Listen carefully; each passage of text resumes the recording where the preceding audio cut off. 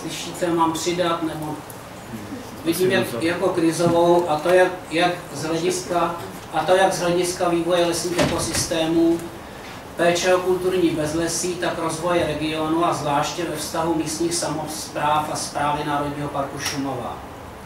Ve svém příspěvku jsem soustředěn na lesní ekosystémy, když jejich vývoj má široké souvislosti, a to nejen v oblasti Šumavy.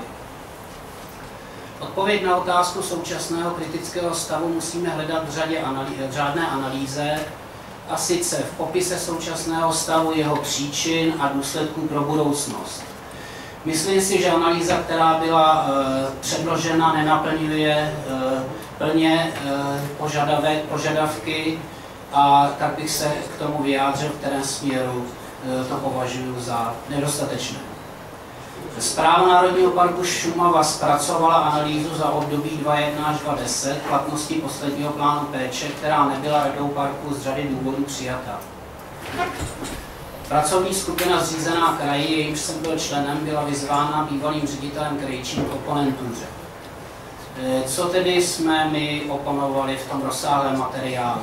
A co tam chybí, co je nedostatečné? Jednak analýza stavu jednotlivých platných zón, platných prvních zón. Je to neuvěřitelné, ale v celém materiálu se nevyskytuje vůbec soupis těchto prvních zón a e, není vůbec žádné hodnocení, i když se jedná vlastně o nejhodnotnější e, e lesní ekosystémy, které se tam vyskytují. E, něco nám to signalizuje analýza úspěšnosti umělých výsadeb sledujících změnu druhové skladby. Uvedeno jen, co bylo zalesněno. Ale my víme z praxe, že rozhodující, co tam zůstalo, jak se to vyvíjí. O to tam není žádné slovo. Analýza tzv. speciálních managementů. Plocha zhruba 6 000 hektarů zřízených po kalamitě Kyril za účelem zabránění kůrovcové gradaci. To bylo vytvořeno, ale žádné vyhodnocení, s žádným vyhodnocením se nesetkáváme. Analýza příčin následující kůrovcové gradace vedoucí k velkoplošnému rozpadu lesních ekosystémů. E, analýza vlivu velkoplošného rozpadu lesních ekosystémů na jejich přirozené funkce v krajině, krajinný ráz a životní prostředí. Eh, tento bod považujeme za zásadní, protože ať jsme v parku nebo mimo park, eh, tyto univerzální funkce by měl plnit každý les, i les park. Analýza krizového stavu samozpráv a zprávy Národního parku Šumava. Tato věc je zase bez komentáře prakticky byla obejita. Hlavní příčiny krizového stavu mám na mysli ve smyslu spolupráce zainteresovaných a historické kůrovcové kalamity. Dlouhodobý cíl nebyl uspokojivě formulován, prezentováno často jen procento bezzásahovosti, uváděno 75% výměry celého Národního parku Šumavy. Takový cíl a především rychlost postupu k němu víme, že je jablkem sváru. Skokové rozšíření bezzásahovosti, takový eh, eh, z 13% na 32% porostní půdy k prvnímu první 28, i když skrytě již dávno předtím. Eh, právě to hlavní rozšíření bylo už v době, kdy kurovcová kalamita byla rozběhnuta naplno. Ponechání více jak 200 000 metrů krychlových dříví z kalamity Kyril nespracováno administrativní překážky k účinné obraně proti kůrovci. Víme e, nový pojem, nedestruktivní metody, obrany, víme, co z nich bylo. Dneska řadu těch metod už vůbec nikdo nekomentuje. Přestože v určitých letech byly komentovány téměř jako hlavní. Vnitřní směrnice, které jsou tak komplikované, že prakticky podle nich nelze postupovat e, efektivně a účelně. Takový základní, takovou základní věcí ale je rozhodnutí ministra zprávy MŽP z 5.3.27, eh, takzvaná managementová zonace, která v podstatě obešla platnou zonaci, neboli pak logicky taky nikdo nedělá rozbor prvních zón, protože byly v podstatě prakticky opuštěny. často deklarovány, často se o nich hovoří jako o tom nejcennější. Když máme popsat jejich stav po letech, se tomu vyhneme. Mediální manipulace s fakty o skutečném vývoji ekosystému. Myslím, že s tím se setkáváme denně. Nebylo reagováno na oprávněnou kritiku tohoto rozhodnutí především u odborné lesnické veřejnosti, naopak kritika byla bagatelizována a odmítnutá. Každý má možnost se vrátit zpátky, e, aktéři si přečíst, co říkali a co se stalo. Hlavní důsledky. Suchý les a velké holiny vidí každý. Každému, kdo nenaštíví Šumavu, doporučují vystoupit na Hochstein, vystoupit na Poledník a bude vidět, jak vypadá dešní Šumava. Myslím si, že suchý les a velké holiny nemůže být dlouhodobým cílem na zbývající ploše Národního parku Šumava. To, co se stalo, se nedá odestát. Suchý les je na velké ploše, hrubým odhadem vyspělé porosty chybí v Národním parku Šumava na ploše zhruba 12 000 hektarů. Když tomu připojíme Bavorský park, tak eh, zhruba 6 000 hektarů. Takže se blížíme souvislé ploše, která se blíží 20 000 hektarů. Hovořím o vyspělých porostech abych nebyl kritizován za toto číslo, samozřejmě jsou tam holiny, maziny, ale vyspělé porosty, které jsou právě předmětem napadení kůrovce a samozřejmě reprodukce tam na tak velké ploše chybí. Jak dál v Národním parku Šumava, teď tedy ta třetí část, už to budu muset vzít hodně rychle, protože Eh, čas už mi eh, plyne. Návrhy a následná rozhodnutí musí reagovat na skutečný vývoj v územích Národního parku Šumava a potažmo Bavorského národního parku. Nutno odpovědět otevřeně na jedny ze základních koncepčních otázek. Chceme divočinu? V jakém rozsahu? V jakém čase? Nebo chceme ochranu ekosystému a druhů tak, jak to vyžaduje Natura 2000 a postupný návrat k přirozené dřevěné skladbě, cirka 40% porostní půdy bylo charakterizováno jako nepřírodní při eh, typování Natury 2000. Čas však nečeká. Vyskytují se hlasy, naposled eh, docent Držka v lesnické práci, máme čas, zákon pro všechny parky, veďme dlouhou diskuzi. Já si myslím, že diskuze byla dostatečně dlouhá a e, ten vývoj nečeká. Nutno utlumit historickou gradaci kůrovců na prvém místě. Něco tedy přeskočím teď, abych se dostal ke konci. Ano. Přijmout novou územní strategii, jejím základem je nová zonace musí zohlednit nízký stav zachovalosti, převahu kulturního lesa, problematický tvar území Národního parku ve správě státu, kterou považuji za velice důležitý. Když se podíváme na mapu, vidíme, jak vypadá Bavorský národní park, jaký je tvar parku Šumava.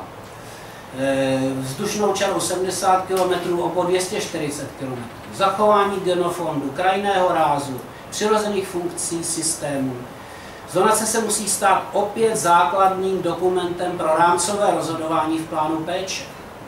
Tím se nestala. Zonace byla opuštěna. Stala se prázdnou obálkou. Novou zonaci stabilizovat na další období 30 až 40 let. To, že se přijal dynamický způsob e, rozšiřování bezásových území, ten byl zneužit a je zneužitelný. Jediná dohoda je možná, jestliže se to bude stabilizovat teprve si strany, které si ne, nevěří, začnou věřit. A na to navazuje plán péče. Děkuji za pozornost. Děkuji za dodržení a vlastně těch dalších řečníků, vlastně si se představoval lidi, ale aby se ještě představili znova, protože viděl to davu, co tady je, tak to někdo nepostřehl.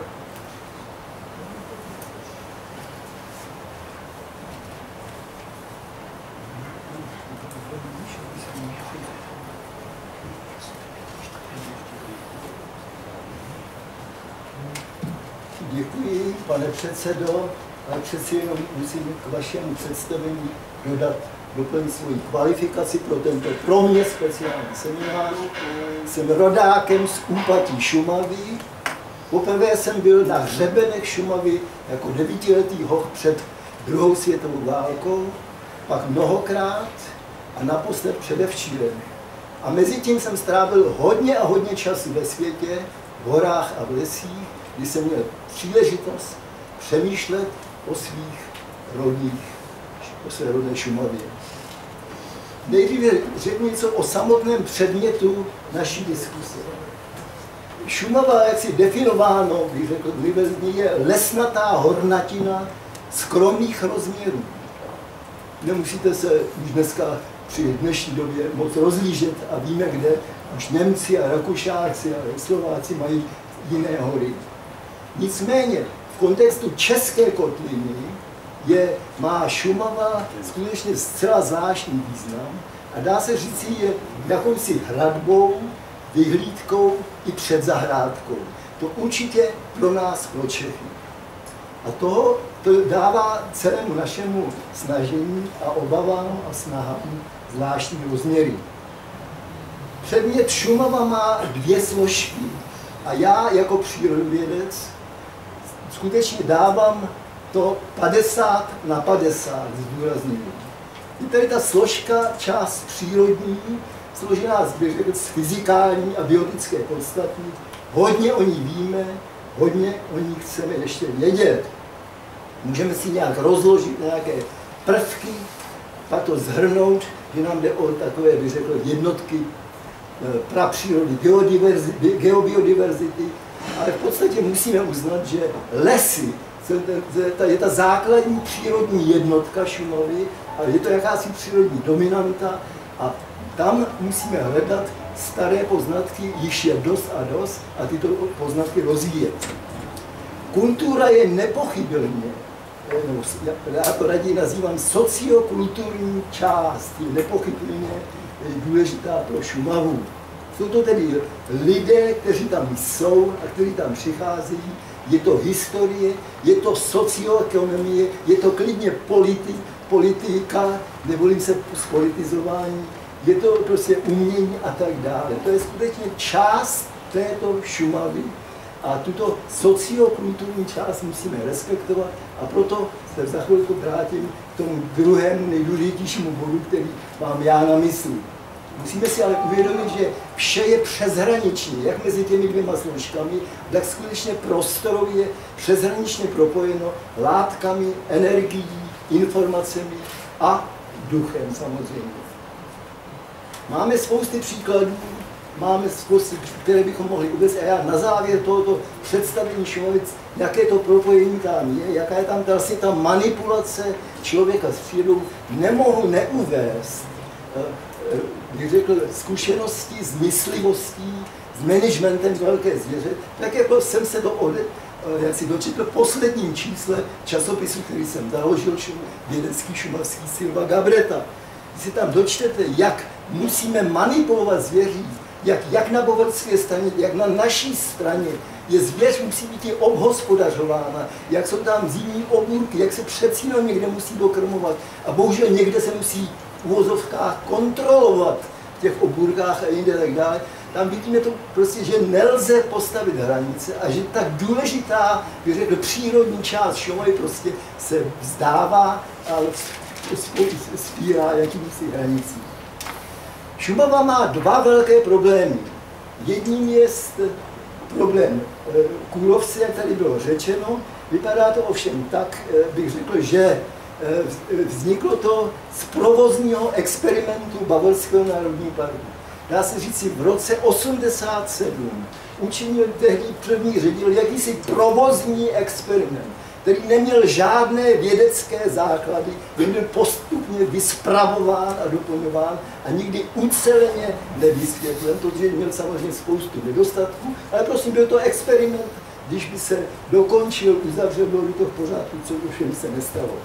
Národní park Šumova byl do tohoto experimentu, bych řekl, vtažen, zatažen a měl přitom velké problémy té své azonálnosti, té roztříštěnosti tedy po těch ostrůvkách. Takže to byla velká vada samozřejmě, že jakýsi pokus o zonaci je tady vždycky iluzorní, ač podstatou Šumavy na rozdíl od jiných středoevropských lesů, určitě bavorské strany, je taková roztříštěnost té podstata a tomu se musí přizpůsobovat cosi, a můžeme tomu říkat zonálnost, ale je to velmi pochybné. No a takže tento malér ovšem způsobil ty obrovské ztráty. Druhý velkým problémem Šumavy je nerovnováha mezi obyvateli a občany České republiky eh, na jedné straně a občany na bavorské straně. Já musím konstatovat, jako rodák a znalec, ale i jako přírodověd, že se zde děje skutečně jakási nerovnováha. Hledám samozřejmě vša, všechno správná slova, že prostě na bavorské straně jsou husté až na hřeben komunikace, vím, třeba předevčírem jsem se přesvědčil znovu, tam je série šesti chat, které ho mají až 60 až 100 lůžek, které od jara do podzima prostě nabízejí. Jsou tam cesty, kde vás vyveze auto až 1250 metrech a tak dále. A my českého občana různými nadnařízeními si nepřipustíme ani k té vyhlídce za tu hradbu, aby se podíval prostě do kousek dál.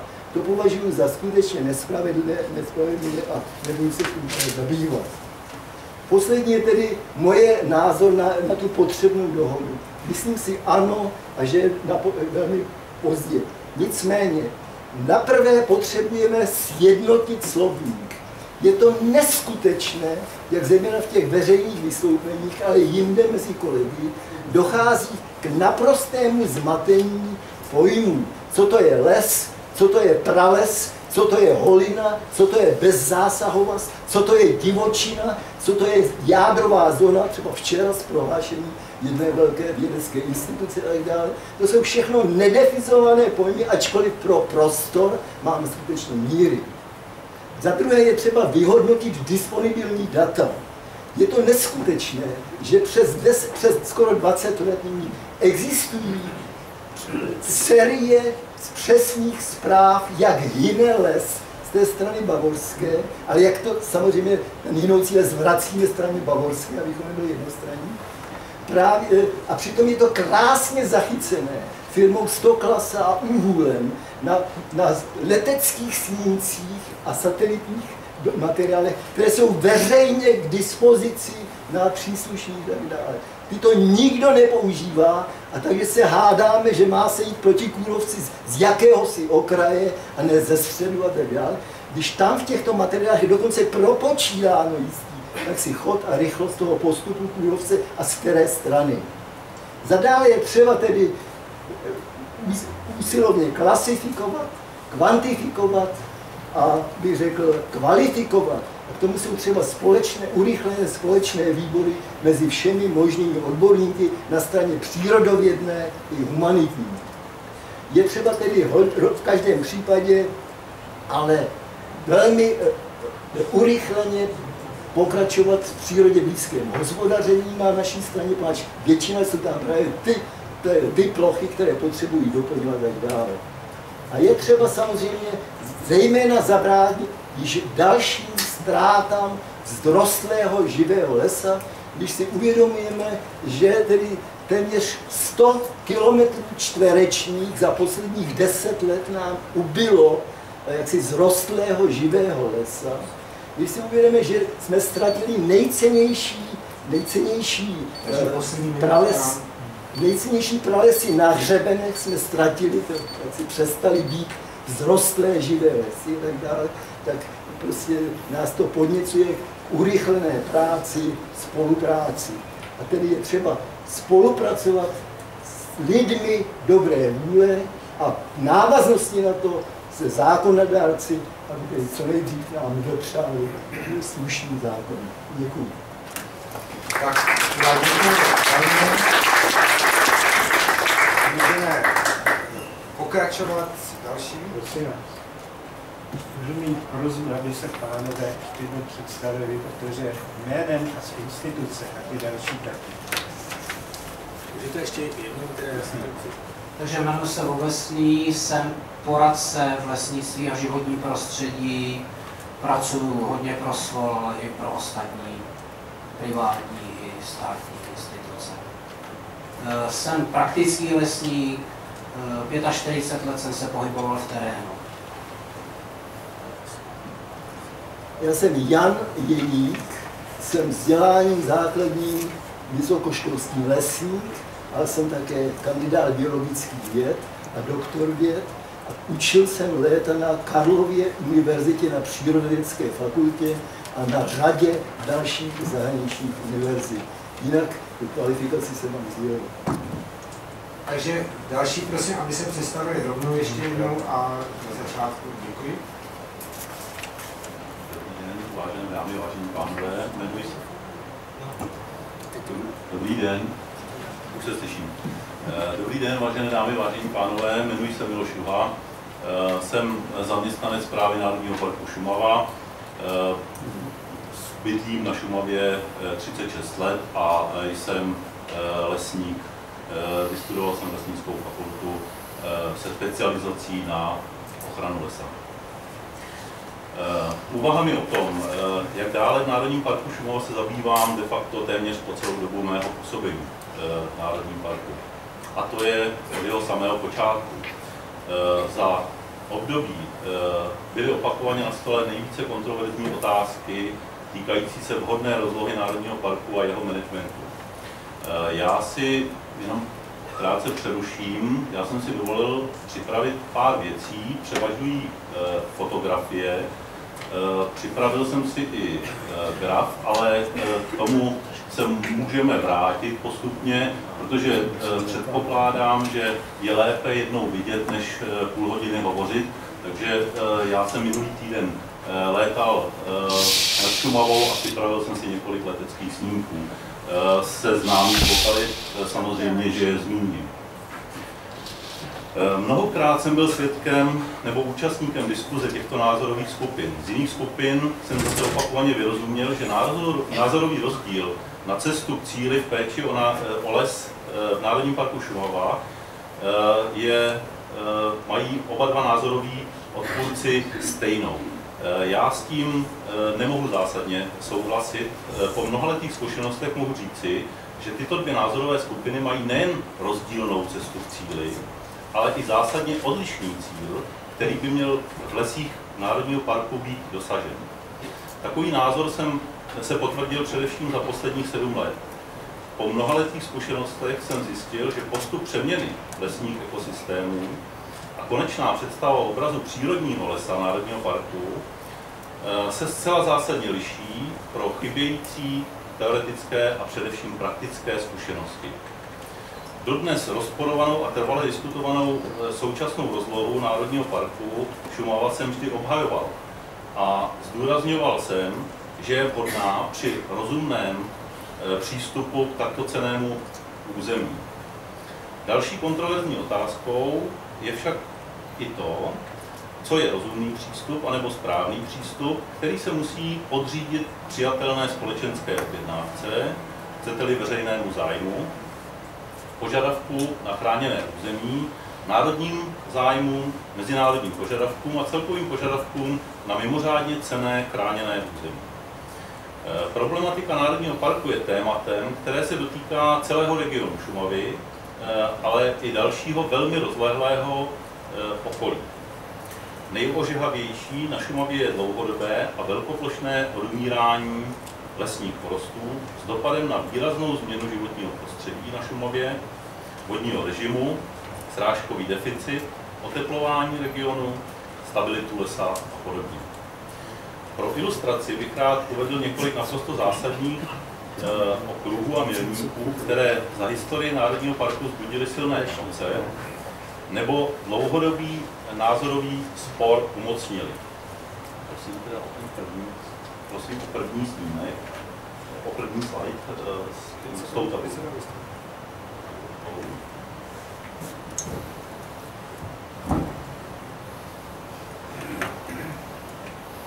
Já s dovolením se takhle otočím, abych viděl, co je promítám ještě, ještě o jeden. Tak je to zásadních, podle mě zásadních šest bodů. Já budu velice, velice stručný, aby jsme se dostali ještě na ty další. Bylo zde zmíněno, že je nějaká zónace, která byla před rokem 1995 a po roce 1995.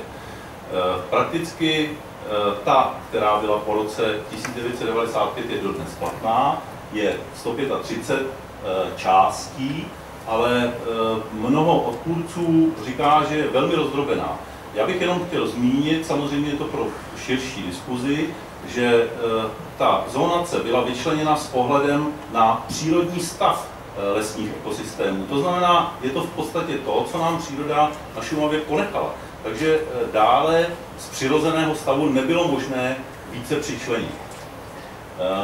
Druhým bodem je rozsah bezzásahového území. Víte, že se o tom dlouhodobě velmi diskutuje a 12% kterých jsou na začátku, je to, co právě bylo stanoveno z těch 135 částí a 75% je rozloha, která je stanovená IUCN. Určitě zase po podrobnosti se dostaneme. V minulosti byli, jsme byli svědky nešťastného rozšiřování bezzásahového území. Byly zde nastoleny i takové horizonty, jako je 1, 3 a 5 let, které jsou v lesních ekosystémech naprosto zcestné. Samozřejmě, že dalším velkým problémem je řešení kůrovcových a větrných kalamit. Můžeme se bavit o tom, jaká byla větrná kalamita v roce 1984 a jaké byly její následky. Můžeme se bavit o tom, jaký byl, jaká byla kalamita větrná se jménem Kirill v roce 2007 a jaké byly následky. Samozřejmě, že vám mohu ukázat fotky, fotografie Eh, jak vypadala trojmezná před rokem 99 a v současné době. A eh, potom eh, bych chtěl sdělit takovou zásadní věc, že každý, kdo si kdo zastává určitý rozsah zásahovosti, v tom stavu, v kterém lesní porosty se současně nachází, já nemyslím v tom přírodním stavu, který by byl žádoucí, tak je třeba si uvědomit, že to má za následek minimálně jednu třetinu plochy eh, toho bezzásahového území vykácených ploch. Tak teď bych prosil o uh, graf. Prosím vás, ten nebudu komentovat. Uh, pokud si jenom v rychlosti povšimnete, tak uprostřed toho grafu je barevně vylišeno kůrovcové stromy zpracované za období od roku 95 po, roku, po rok 2010 a kůrovcové stromy odumřelé ve zásahovém území. Takže v podstatě já jsem udělal ten součet, abyste měli představu o tom, jak to probíhalo. Prosím dále, protože máme velmi málo času. Eh, tohle to je naskenovaný snímek, který se mi nepovedl, takže dále.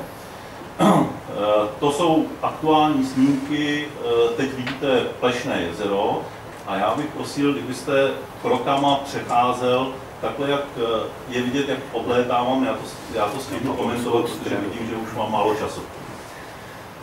Tohle je okruh stále okolo Plešného jezera. Eh, nahoře jsou vidět holiny na rakouské straně, to jsou sousedí Štift Schlegel a tady je vidět eh, jezerní stěna, která je, potom mám taky takový specifický příběh té jezerní stěně. Tady vidíte jezero Laka, zase z několika pohledů, eh, je to bohužel foceno přes sklo letadla, takže eh, ty snímky, promiňte mi za to, že nejsou kontrastní, tady už je jezero Laka se vzdáleným pohledem. Tohle je pohled na prameny Vltavy, na ta nádrž, to je Rešbach Klauze, ta je v Bavorském národním parku. Teďka bude následovat série snímků oblet pramenů Vltavy, kdo si uvědomuje, je to, je to oblast Černé hory a v podstatě eh, hlavně teda pohled eh, do sousedního Bavorského parku.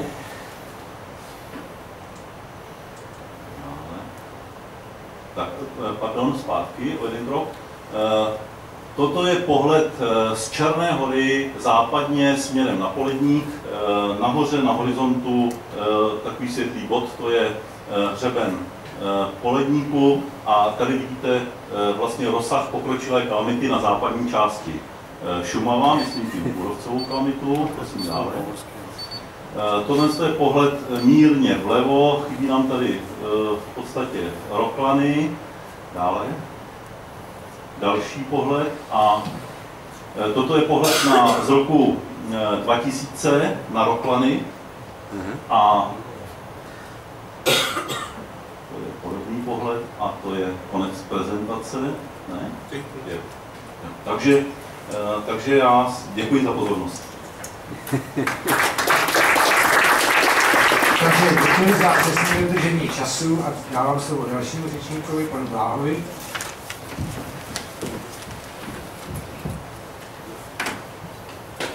Dobré odpoledne.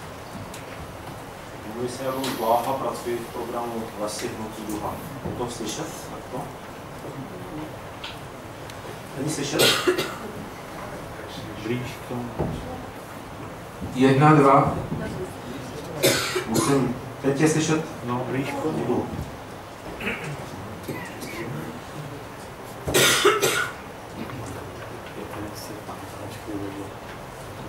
Tak, eh, v debatě debata o Národním parku Šumava trvá už eh, více než 15 let, eh, možná ještě déle 18 let. V podstatě nemohu se ubránit dojmu, nebo, nebo ten, kdo ji sleduje celých 15 let, i ten, kdo ji sleduje poslední léta, tak nutně musí mít dojem, že je to diskuze hluchých. 15 let se opakují ty samé argumenty na jedné a na druhé straně a nezdá se, že by, že by ta debata vedla k nějakému rozuzlení nebo cíli. Přesto je tu jeden poměrně zásadní rozdíl.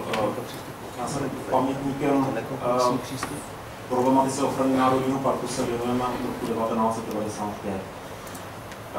Před těmi 15-16 lety jsme vycházeli z řady, z řady obecných ekologických a přírodovědných poznatků a na mnoho otázek, které zaznívaly a mnoho pochybností, které zaznívaly, jsme neznali přesnou odpověď. Po 15 a více letech výzkumu, který provádí jeho Česká univerzita, Akademie věd, Pražská a lesnická fakulta a další odborná pracoviště, včetně monitoringu prováděných zprávů Národního parku na mnoho odpovědí už uh, alespoň částečně, nebo na mnoho otázek, alespoň část odpovědí znám. O to je uh, podivnější, že, že ta debata se uh, přesto někam neposouvá. Jeden z, jedno z klíčových nedorozumění je možná i v tom, že, s, že nedostatečně reflektujeme, že cíle Národního parku nejsou totožné s cíly pro ostatní hospodářské lesy. Já si pamatuji dobu v roce, tuším 2000 to bylo, také po velmi vyhrocené období v roce 1999, kdy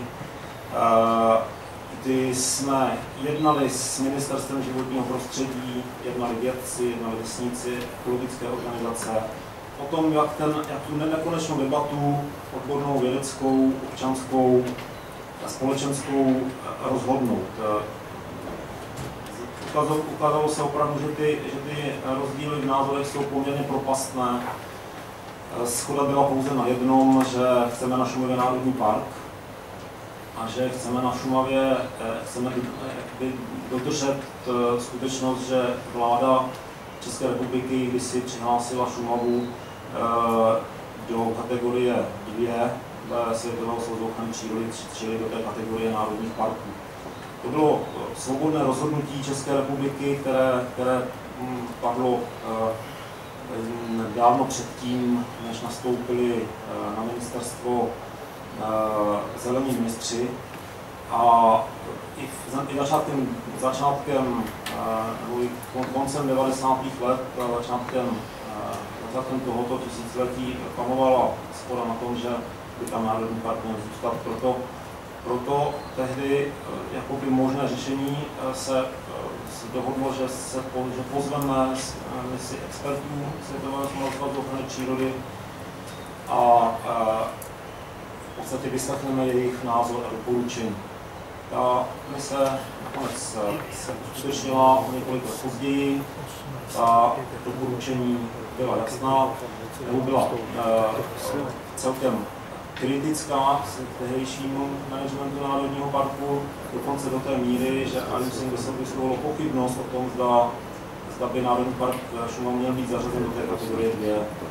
Uh, nicméně konstatovali, nicméně konstatování, že Šumava je, přírodní hodnoty Šumavy jsou jednoznačně natolik vysoké, že si toto zařazení zaslouží a příslip tehdejšího vedení ministerstva, že doporučení IUCN, které, které tam bylo, se bude snažit uvádět v praxi, vedly k tomu, že Šumava zůstala zachovaná v té kategorii 2. Definice Národního parku podle IUCN nove, novelizovaná nedávno je taková cíle managementu, já to nedostatku času zkrátím, cíl, posláním je, posláním je ochrana ekologické integrity ekosystému. Jedním ze z prvních, ze zásadních cílů managementu je eliminovat exploataci a jiným využívání odporujícímu účelu vyhlášení území, přičemž za exploatace se dokonce považuje i myslivost a rybolov, což řeší vzhledem k absenci predátorů v krajině různé národní parky různě, většinou intenzivním lovem v okolí.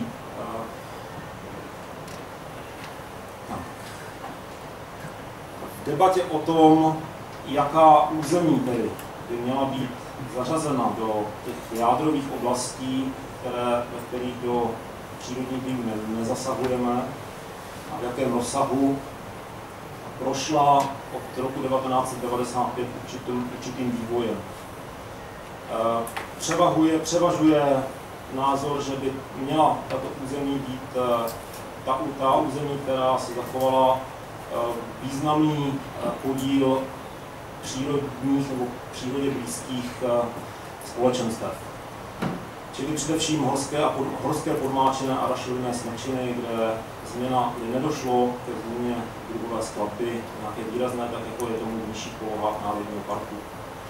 Potom lesy s takovou přírodě blízkou druhou skladbou, e, ostatní smíšené, jsou to větší celky, rašeliniště, ostatní mokřady, zkrátka málo pozměněné přírodní ekosystém.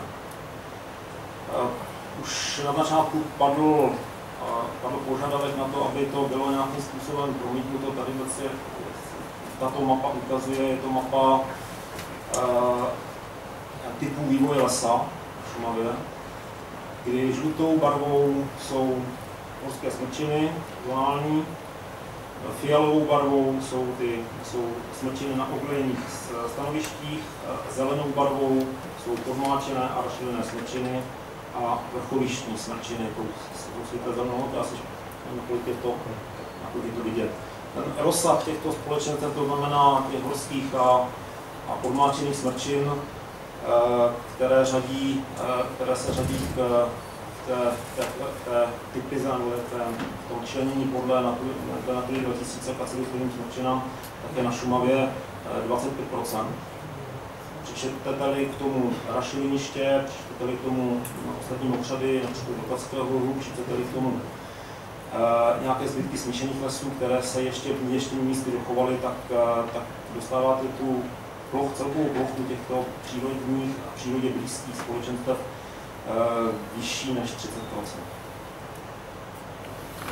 K horským smrčinám patří úrovcové gradace, opakují se na Šumavě eh, po staletí a po tisíciletí, v podmáčených smrčinách v podstatě s intervalem zhruba 100 let plus minus, v těch horských smrčinách se interval eh, výrazně zkracuje. Proč?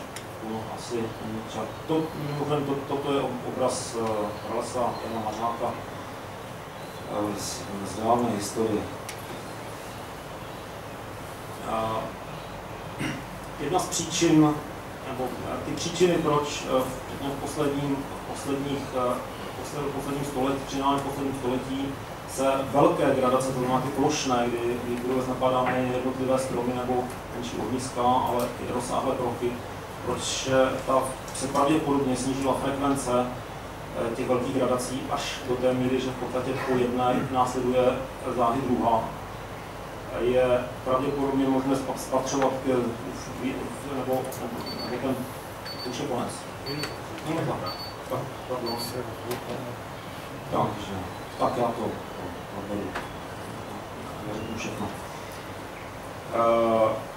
V měnící se podmínkách prostředí, na jedné straně přírodními vlivy, jako je sucho, suché století, na druhé straně emise, dále podmínky zásahů, hospodářských zásahů v minulosti, ať už je to výstavba na holinách, historicky odvodnění, a, a, nebo i takzvané asanační zásahy proti kůrovci. Ukázal celkem jednoznačný Kiril, když si promítnete plochy, kde, kde způsobil orkán Kiril v roce 2007 největší, ty plošné polomy, tak je to právě v oblastech horských lesů, kde by je byla návaznost na porostní stěny kolem vytvořených předešlých letech, anebo jako v tomto případě na, na plesné eh, v lesích, které byly asanací eh, taky proředěny. Ne, eh, nejsme, ne, nejsme u problému v Národním parku s problémem obnovy. Ten biomonitoring jak na české, tak na bavorské straně do, dokládá jednoznačné výsledky, ale tam problém nastavení hranice mezi zásahovým a zásahovým územím. Souhlasím s názorem, že ta hranice je nastavená špatně, že ne, nereflektuje eh, ty velké diskrumpance, jako je třeba v tomto případě eh, ty, ty, ty známé obrázky z pod jezera Laka, kdy byla umístěna hranice o 2 km níž, kde navazuje bez lesí. Neměli bychom vyvrácené holiny. Já se omlouvám, mám, musím ukončit. Tak, je to, jak jsem řekl, takže i tady bylo jenom těch 10 minut a další slovo pan profesor Fanta. Dobrý den, dámy a pánové, já se jmenuji Josef Fanta. Přistěhoval jsem se do této země před rokem.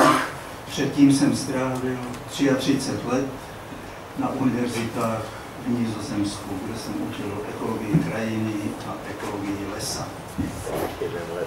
Poté, co jsem se vrátil, jsem zjistil, že příroda, prostředí a ekologie ohrožují v Československu nebo v České republice svobodu. Bylo mi to dost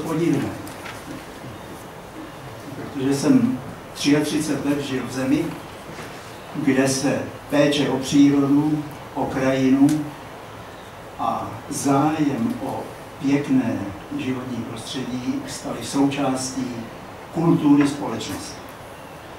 Mohl bych to považovat za umanutost jedného starého politika. Ale bohužel jsem zjistil, že se toho dá dobře využít. Mimo jiné i pro řešení problematiky Šumavy. Býval jsem tady dost často v 90. letech, kdy jsme dělali obnovu lesů v Krkonoších za pomoci s, finančním, s finanční pomocí nizozemské nadace FACE. Tam šlo o 8 tisíc hektarů lesa, které byly zničeny kyselou depozicí.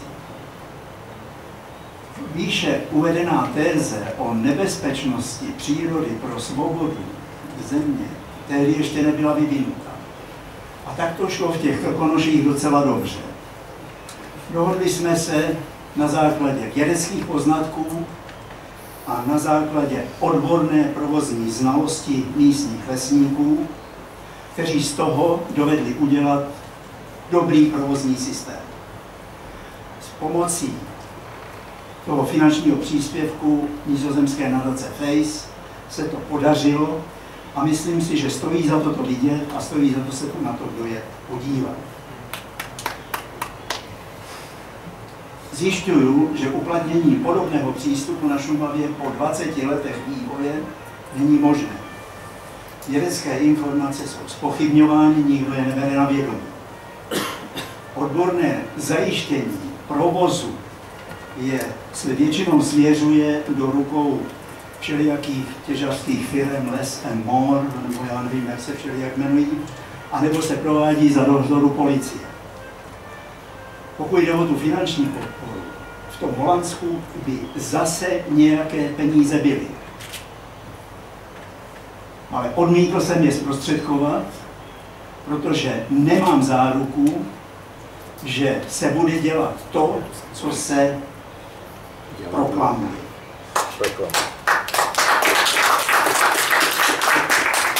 Závěr je pro mě jediný. Šumava je modelem, velice dobrým modelem fungování české demokracie. Každý mluví. Politici létají nad Šumavou a z výšky jednoho kilometru posuzují, jestli se na Šumavě les zmazuje, anebo ne. Za mých mladých let se u nás na vsi, dámy prominou, prosím, říkalo, že jsou lidé, kteří si myslí, že když mají do zadku díru, takže rozumějí všem. Negují se doporučení expertů IUCN, prosazují se lokální zájmy nad zájmy celostátními anebo dokonce mezinárodními. Ta Šumava totiž má mezinárodní význam. Výsledkem je mezinárodní ostuda. Naš, na tuhle tu situaci doplácí jak Národní park, tak lidé, které v tom Národním parku žijí. A řešení je v. Věci samé. Dověděl jsem se tady z různých spisů, a tady jsem to viděl i na e, tom jednom grafu, že v 90. letech byla na té Šumavě situace opravdu ideální. No já jsem tam na té Šumavě v 90. letech dost často byl. Souběžně s tou obnovou lesů v Krkonošském národním parku, protože bylo dost peněz k dispozici, jsme se dali i do Šumavy. A ročně se tam začalo zalesňovat nějakých 300 hektarů, které bylo potřeba zalesnit. A ta, ta nizozemská nadace FACE na to ty finanční prostředky dala. Velice rychle jsme narazili ale na jeden velice zajímavý problém. Ze strany vedení parku nám bylo ředitelem sděleno, že celý národní park se nachází v osmé vegetační zóně a že tudíž se všude bude vysazovat v rámci přeměn smrkových monokultur, že se všude bude vysazovat zase jenom smrk. Viděl jsem už ledas jaké osmé vegetační stupně. Jak v této zemi, tak i v Alpách, ve Skandinávii, na Aljašce. A řekl jsem tehdy, tehdejšímu řediteli, že jsem ještě neviděl vegetační stupeň, ve kterém by smrky rostly do výšky 40 metrů a v zakmenění 1,2. Na základě těchto nesrovnalostí nakonec to dopadlo tak, že nizozemská nadace FACE ztratila důvěru ve vedení Národního parku a odmítla se na tom podvodu, který se tam dělal, dále finančně podílet. V těch krkonoších, jak jsem říkal, jsme pokračovali dál až do roku 2002. Práce v lesích, v českých národních parcích nějak to nejde. Já si myslím, že je to způsobeno tím, že národní parky po svém zřízení převzali pracovní metody státních lesů. Nefunguje to. Cíle práce s lesem v národních parcích jsou totiž jiné. A tudíž jiné musí být i metody. Problém je v tom, že český lesní zákon jiné metody než pasečný les v podstatě nepřipouští. A to je něco, co v Národním parku by se nemělo dělat.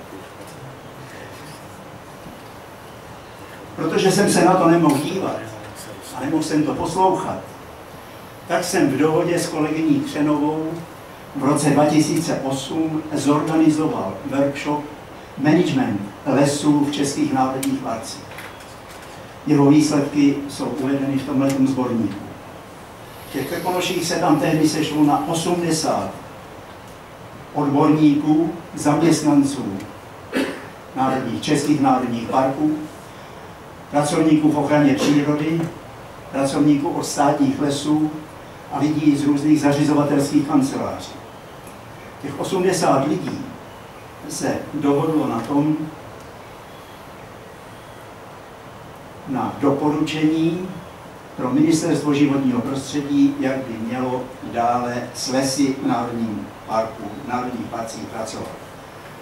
Doporučili jsme jednoznačně zavést přírodě blízké hospodaření, kombinovat přírodní procesy s adaptivním hospodařením v lesích, zavést jiná kritéria a parametry než pro takzvanou hospodářskou úpravu lesu, pro plánování, jiné parametry, než jaké se používají v hospodářských lesích a další doporučení týkající se zonace, disturbancí, biodiverzity a tak dále. Tři národní parky, pokud je mě známo, a to doporučení přijali. Na Šumavě to politici a vedení Národního parku opět ví lépe. Výsledkem je to, co máme. Vidím tři alternativy řešení. Buď to pokračovat tak, jako se pokračuje dosud, a to znamená v podstatě demontáž českých národních parků na úroveň chráněných krajinných oblastí. Nebo podstatnou změnu zákona o lesích, nikoli v unifikaci, ale diverzifikaci. Podle mých zkušeností z jednání o Národním lesnickém programu něco takového v současné době je asi neprůchodné. Další možnost, třetí, je výjmout lesy v národních parcích, parků v národních parcích s pravomocí lesního zákona. Jestli to česká politika dokáže, nevím. Na závěr. Nedávno jsme dostali do ruky návrh nového zákona o Národním parku. Dovolte mi konstatovat, že jsou tam věci dobré, jako je například to, že Národní park Šumava bude zachován v té podobě, v jaké existuje a tím pádem plzeňský návrh byl smetem ze stolu. No, dobře. Děkuji za poznámku. Druhá věc je, že... Pane profesor, ano, konec.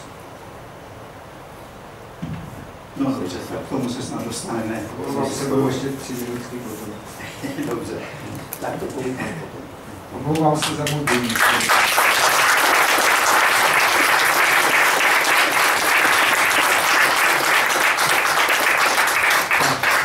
Jako další je pan Jiří Matějka, já hned pustím jeho prezentaci.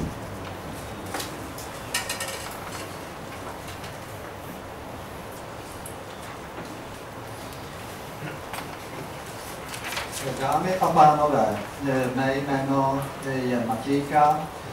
Eh, Na Šumavě eh, se pohybuji již asi od poloviny 80. let.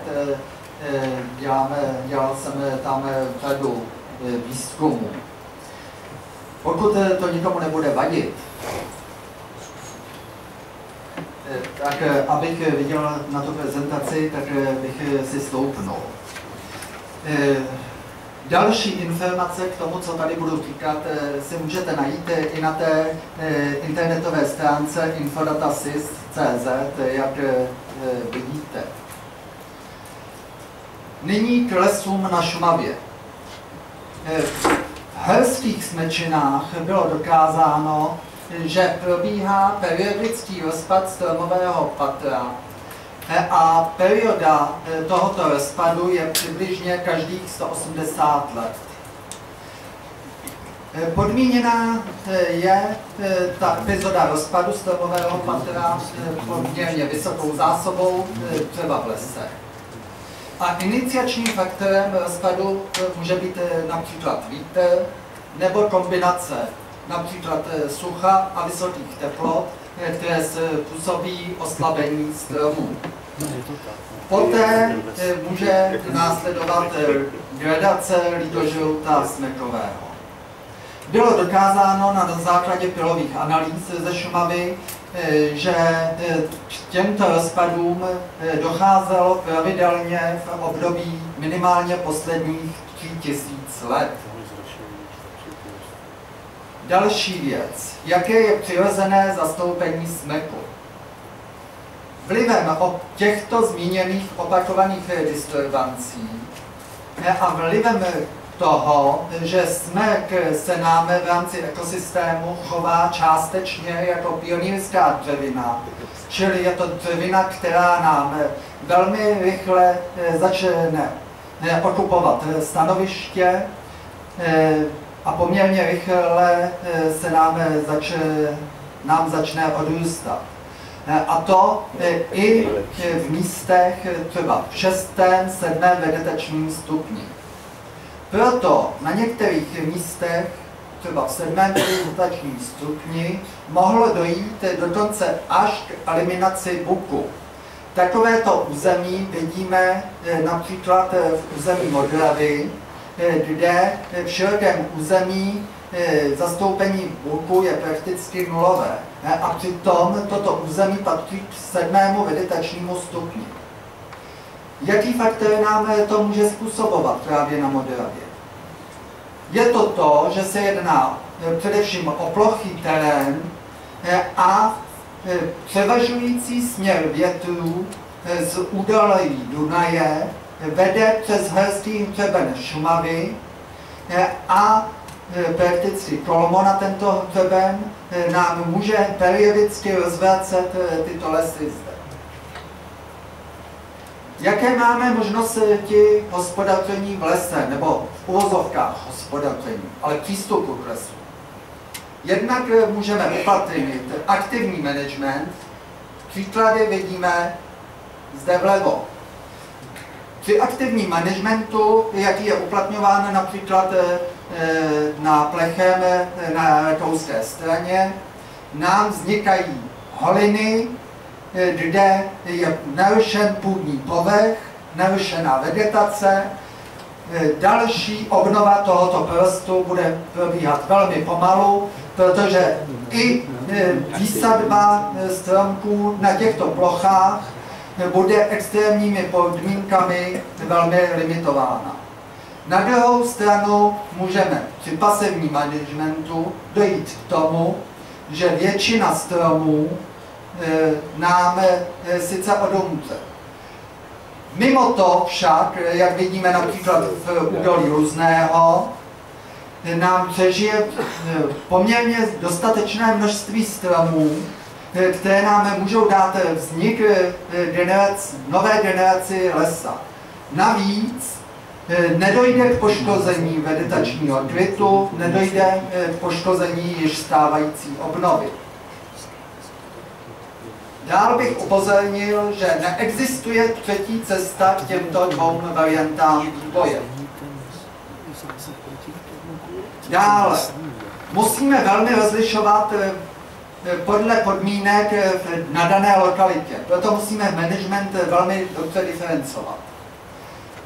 Musíme mít odlišný management v pátém a šestém lesním vegetačním stupni od managementu v sedmém a osmém vegetačním stupni, což vychází z rozdílné dynamiky ekosystému v těchto různých polohách. Zásadní je tedy správné rozlišení lesních meditačních stupňů. K tomu je třeba može, je možno využít i e, tepletní model meditačních stupňů, který jsem například v posledním roce vyvinul a e, publikoval. Vys e, na internetu. Dál bych upozornil, že některé typy společenstev lesních nejsou schopny přežít stádium paseky. Typicky se jedná například o papratkové smečiny. Takže bezzásahový management v lesích musíme provádět na přesně vymezeném území. Toto území musí být celistvé s krátkou hranicí. Na obvodu té, tohoto bezzásahového území musíme vylišit eh, buffer zónu, nějakou nárazníkovou zónu, nejlépe v polohách 6. vegetačního stupně a v, tě, v této zóně musí dojít k přeměně lesů tak, aktivní přeměně lesů tak, aby se zde vyskytovalo minimum smrku a maximum listnáčů, čili boku především, případně jedle. Dále existují poznámky k takzvané kulturní krajině a k tomu, že Šumava je kulturní krajinou, což bez je. A k tomu, že lesy ztrácejí e, určitou schopnost e, e, hodně fungovat v této kulturní krajině. Celé území Šumavy je pod dlouhodobým vlivem člověka. Tento vliv je ale o poznání slabší než ve většině střední Evropy. Cílem ochrany přírody v Národním parku musí být, nebo ten cíl musí být definován i na úrovni krajiny. A musí dojít k určité minimalizaci vlivu člověka na vymezeném území, a to i v rámci celé krajiny. Takového to cíle lze dosáhnout pouze na velkém území. A jedním z mála území ve střední Evropě, kde toho lze dosáhnout, je právě Šumava. Jak dál? Musíme si uvědomit to, že velká část návštěvníků Šumavy jede na Šumavu proto, že chce nebo potřebuje se dostat do území, kde najde přírodu bez, v podstatě přírodu bez lidí. A proto existují určité limity pro turistiku, pro návštěvnost tohoto území, které tyto limity, pokud budou překročeny, tak nám velká část návštěvníků Šumavy už nepřijede. Takže argumenty obcí v tomto směru jsou mnohdy velmi liché. Dále existují eh, změny klimatu. Změny klimatu eh, ovlivní například to, že na Šumavě eh, bude méně sněhu a ten sníh se bude udržovat po kratší dobu. Proto zde lze předpokládat do budoucna, že musí dojít k útlumu zimních speltů. Zkrátka ty spel, zimní spelty lyžování tam nebude možné. Dále, Šumava není pouze národní park, ale jedná se i o chráněnou krajinou oblast, jedná se o území Natura 2000, jedná se o evropsky významnou lokalitu. Čili pokud, i pokud by zde neexistoval park, pak zde nepřestane ochrana přírody, ale tato ochrana přírody zde bude v podstatě na stejné úrovni, ale například eh, takové kašperské hory již nebudou pobírat eh, náhrady za to, že jejich eh, pozemky jsou na území Národního parku a tyto náhrady nejsou malé. Činí ročně přibližně asi máme dojem 14 milionů korun. Toť vše. Děkuji za pozornost. Děkuji dalšímu řečníkovi za přesné dodržení času. Jako další je Jakub Hruška. Tak dobré odpoledne, já už jsem předposlední, snad to ještě chvíli vydržíte. Eh, já jsem vzděláním geochemik, celý život se věnuju biogeochemii, což je studium interakcí mezi živou a neživou přírodou na úrovni chemických cyklů, biologických cyklů. Tady ten předmět biogeochemie přednáší na Přírodovědecké fakultě Univerzity Karlovy na Šumavě. Pracuji od počátku 90. let a byl jsem dlouhá léta předsedou vědecké sekce Rady Národního parku Šumava až do letošního února, kdy eh, 16 z 21 členů této sekce odstoupilo na protest proti tomu, že ředitelem Národního parku byl jmenován pan doktor Stráský. Od té doby fungujeme v neformálním uskupení zvaném Stínová vědecká rada Národního parku, které má překvapivě velký ohlas. Jsem tím až sám překvapen, kolik novinářů mi neustále volá. Ale o tom dneska nechci mluvit. Eh, chtěl bych tady představit, jako vlastně návaznost na to, co tady říkali moji předřečníci, návrh zonace Národního parku Šumava, tak jak jsme ho asi zhruba před deseti dny s kolegy ze Stínové vědecké rady vytvořili a kde se domníváme, že jsou zohledněny ne veškeré, ale většina eh, kontroverzí, sporů, poznatků, požadavků, náhledů na to, jak by měl vypadat zonace Národního parku Šumava. Se omlouvám, ten projektor je opravdu mizerný. Eh, já vám to teda budu popisovat takhle z dálky. Ta zonace eh, vychází z toho, jak definovali zóny, aspoň tak, jak budou teoreticky existovat v tom návrhu Ministerstva životního prostředí, které pan minister Chalupa zveřejnil jeho první názor před bratru deseti dny. E, současně říkám, že mimo toho, že první zóna les a primární les, les a primární bezlesí, což je ta zelená závorce i hned bezzásahová 26,5% pro plochy MP, že ta se takhle asi bude jmenovat vždycky. Zatímco u těch ostatních eh, by měl být vždy zachován obsah, ale jestli se to jednou bude jmenovat jedna A zóna nebo druhá 2C zóna, je z odpuštění úplně jedno, protože se jedná o způsoby managementu v tom území. Eh, my jsme v tuto chvíli mysleli na to, že ta první zóna, která by měla být v lese a na primárním bezlesí, tedy na rašeliništích, a která by měla být i hned bezzásahová, by měla pokrývat zhruba těch 26,5 plochy Národního parku. Jedná se přesně o ty lokality, o kterých tady kolega Matějka. Jsou to převážně smrkové lesy 8. a 7, částečně 7. vegetačního stupně. Jsou, ty les, jsou to lesy, které pokrývají zejména hřeben Šumavy, vyjma tedy Vltavského luhu, tam vpravo, kde teda je to fenomén naopak údolní. A ta místa se nacházejí tam, kde je v uvozovkách dneska téměř sežráno, když to řeknu takhle ošklivě. A tady bych chtěl říct jednu, jednu věc. My se tady celou dobu, nebo nebavíme se o tom, ale je to v pozadí té věci, tady se celou dobu mluví o jednom druhu stromu a jedné jeho věkové třídě. A to je dospělý smrk stopy.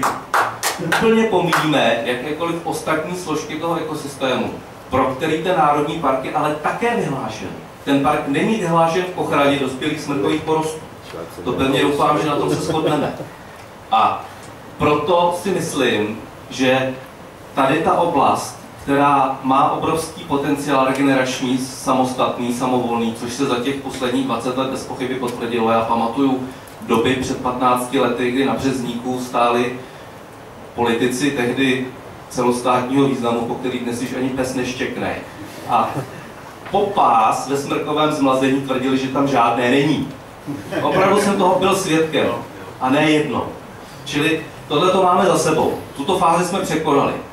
A teď teda předpokládám, že záhy překonáme i tu fázi, kdy se začne, kdy se říká, že tam vyroste znova i stejnověká smrková monokultura, protože když se tam skutečně zajdete podívat, tak zjistíte, že tam takový les ale nevyroste.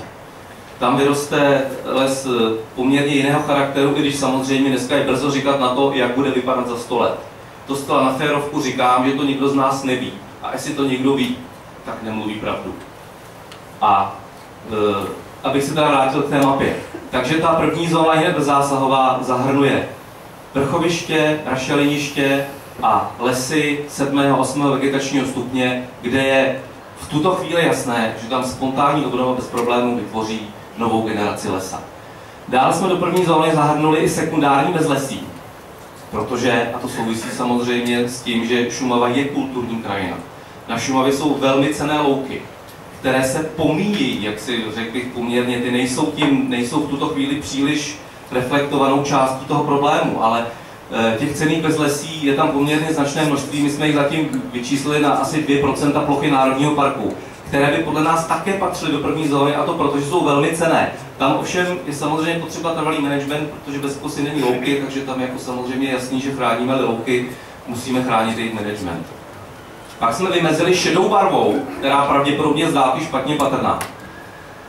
Takzvanou 2A zónu, které se předpokládá, že tam bude probíhat uh, nějaká, nějaký management po dobu zhruba 15 let a které by spojily ty v tuto chvíli nespojité zelené první zóny bezzásahové i hned do nějakých logických celků, aby jsme se dostali k neroztříštěné zonaci. To znamená, 11% plochy Národního parku by během 15 let mělo být převedeno do té první bezzasahové zóny. A když sečteme tyto tři zóny, tak se dostaneme na necelých 40%, je to nějakých 39% plochy Národního parku. A to si myslíme, že je návrh velmi kompromisní, se kterým jako by zřejmě neměl být žádný problém, protože každý, kdo se problému orientuje, musí uznat, že to takhle prostě na té Šumavě je namalováno, nalajnováno. A v tom bílém, což je 68% rozlohy Národního parku, je místo na 2B zónu, která bude dlouhodobě zásahová, kde se bude praktikovat přírodě blízké lesnictví, protože v Národním parku to jinak ani nejde. To znamená, že tam lesnickými způsoby bude převáděn ten les na ten přírodě blížší smíšený les, protože to už je v pásmu smíšených lesů, původně smíšených lesů, to už není v pásmu horských smrčin. A ani náznakem tady není naznačená třetí zóna, protože já si myslím, že v tuto chvíli běží zejména politická debata, co to bude třetí zóna. Protože někdo si třetí zónu představuje jako stavební pozemky určené k zastavení. A není takových málo, musím říct. Jo. No, A tady je samozřejmě velká otázka, jak tohle to proběhne. A to si myslím, že do toho já tady nechci zabíhat, ale mohu říct ze zkušeností z poslední doby, že politický tlak je enormní. Jo.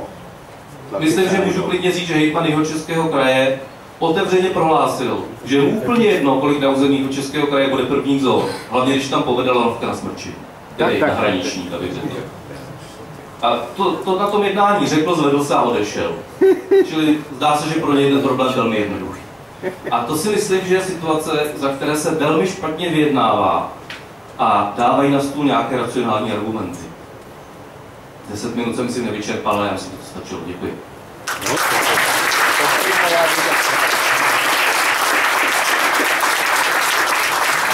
Já bych chtěl Jakobu Hruškovi, prosím, myslím, že to jde velmi hezky jaksi po odborné stránce. Je tady prozba, aby jsme pokud možno jaksi nedělali ataky na lidi, kteří nejsou zde přítomní. Jo? Takže už tady máme posledního řečníka, eh, pana inženýra Šticha, takže mu dávám slovo. Dobré odpoledne, dámy a pánové. Jmenuji se Jiří Štych, vzděláním servisník a jsem zde jako zástupce občanského družení Šumava 21, které bylo založeno v roce 2004 a eh, je, má podtextu Združení pro záchranu zelených lesů Šumavy, což se nám nepodařilo už asi nepodaří. Ehm, pan moderátor zde nadnes otázky, na které chtěl slyšet některé odpovědi nebo názory. Nebyla tu příliš zmíněna historie šumavských lesů, kromě tady, tady kolegy, kolegy Hrušky, který zde hovořil, a, pardon, a kolega Matějka, který zde hovořil zhruba o těch periodických disturbancích, rozpadech šumavských lesů. Nevím, když navážu, padlo tu číslo, že se to opakuje zhruba po 180 letech. Poslední velká disturbance počala s nástupem Národního parku, to znamená, že ta předcházející by byla někdy kolem roku, roku 1810. Ovšem to se vůbec neshoduje s historickými pramenama, které jsme měli možnost prostudovat. No tak, nás spíš zajímá ta doba, já nevím, osidlování, kolonizace Šumavy, několik, co bylo na Šumavě před třema tisíci lety, tam jsme se asi vracet nechtěli. Ale jo, medvěd Kolega, kolega Hruška zde zmínil, uh, zmínil spontánní, spontánní obnovu na uh, těch plochách, kdy došlo k odumření stromového patra. A ptal se, jaké porosty tam vzniknou. A já ho můžu ubezpečit, že tam vzniknou, pokud ta spontánní obnova je skutečně jak spontánní, jak se uvádí, tak tam vzniknou porosty, které budou daleko méně věkově rozložené, než jsou ty současné. protože ty současné porosty, zejména ty hřebenové, ale i ty podmáčené smrčiny, tak eh, se běžně s průměrným věkem 200-250 let, tak tam najdete stromy, které jsou 100 let staré, které jsou taky 300 let staré. Rozpětí 100-120 let tam v těch porostech není žádná výjimka, takže vůbec nejde o žádné stejnověké smrčiny, jak se často uvádí. Bohužel tyto fakta uvádí i mý kolegové lesníci. Pravda je, že v tom nemáme nejasno. Jako důkaz vám uvedu, že se touto problematikou zabýval Pavel Hubený, kterého těžko, těžko obvinovat z toho, že by stranil zasahovačům. A ten v časopise Šumava z roku 2007, léto a zima, zejména po eh, Kirilu se tím zabýval a v podstatě uvádí to ten časopis tady, nebudu to citovat, je to zbytečný, najdete ho na internetových stránkách zprávy Národního parku a sám se diví, že lesníci toto na svoji obhajobu nebo ne, neužívají. Té historii lesů chtěl bych se vrátit eh, k archivu Schwanzenbergu.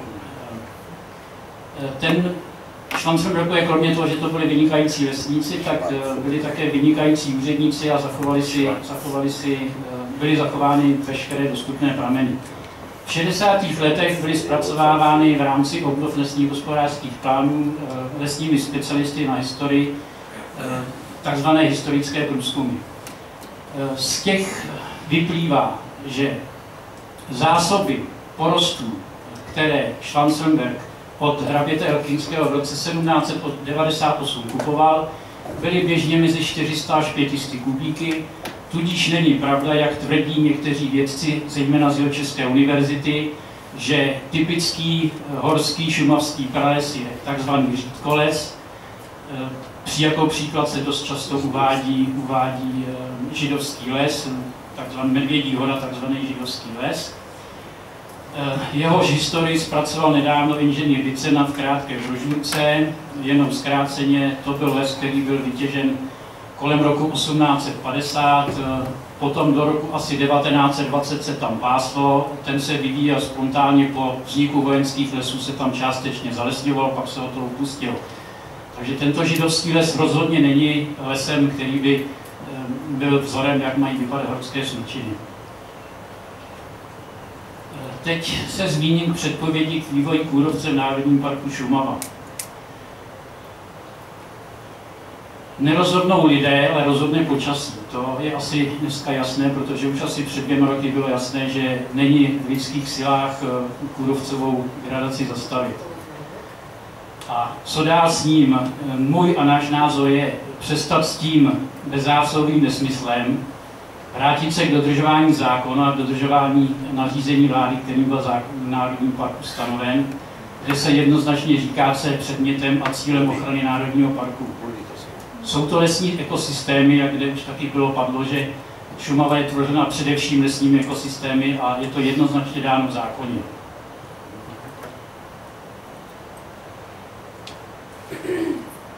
To myslím, že stačí, já nebudu dál natahovat čas a děkuji za pozornost. Tak, já bych děkuji i poslednímu řečníkovi. Já jsem tady teďka poprosil eh, pana kolegu Juhu, protože si myslím, že víc z vás tady asi neví, co jsou různé stupně, eh, jak se toho, ty lesní vegetační stupně, tak mimo, jak si mimo pořadí, jestli by nám tady kolegové lesníci objasnili krátce, co, co toto znamená, tento pojem. Já si dovolím být uh, velmi stručný, doufám, že jsme se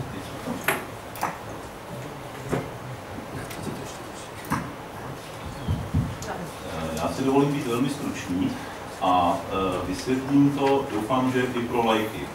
V podstatě mluví se trvalé, byl tady několikrát zmiňován sedmý osmý a podobně vegetační stupeň. Horské smrčiny. Eh, horské smrčiny by se měly nacházet na území osmého vegetačního stupně. Eh, tyto vegetační stupně se rozlišují podle délky vegetační doby.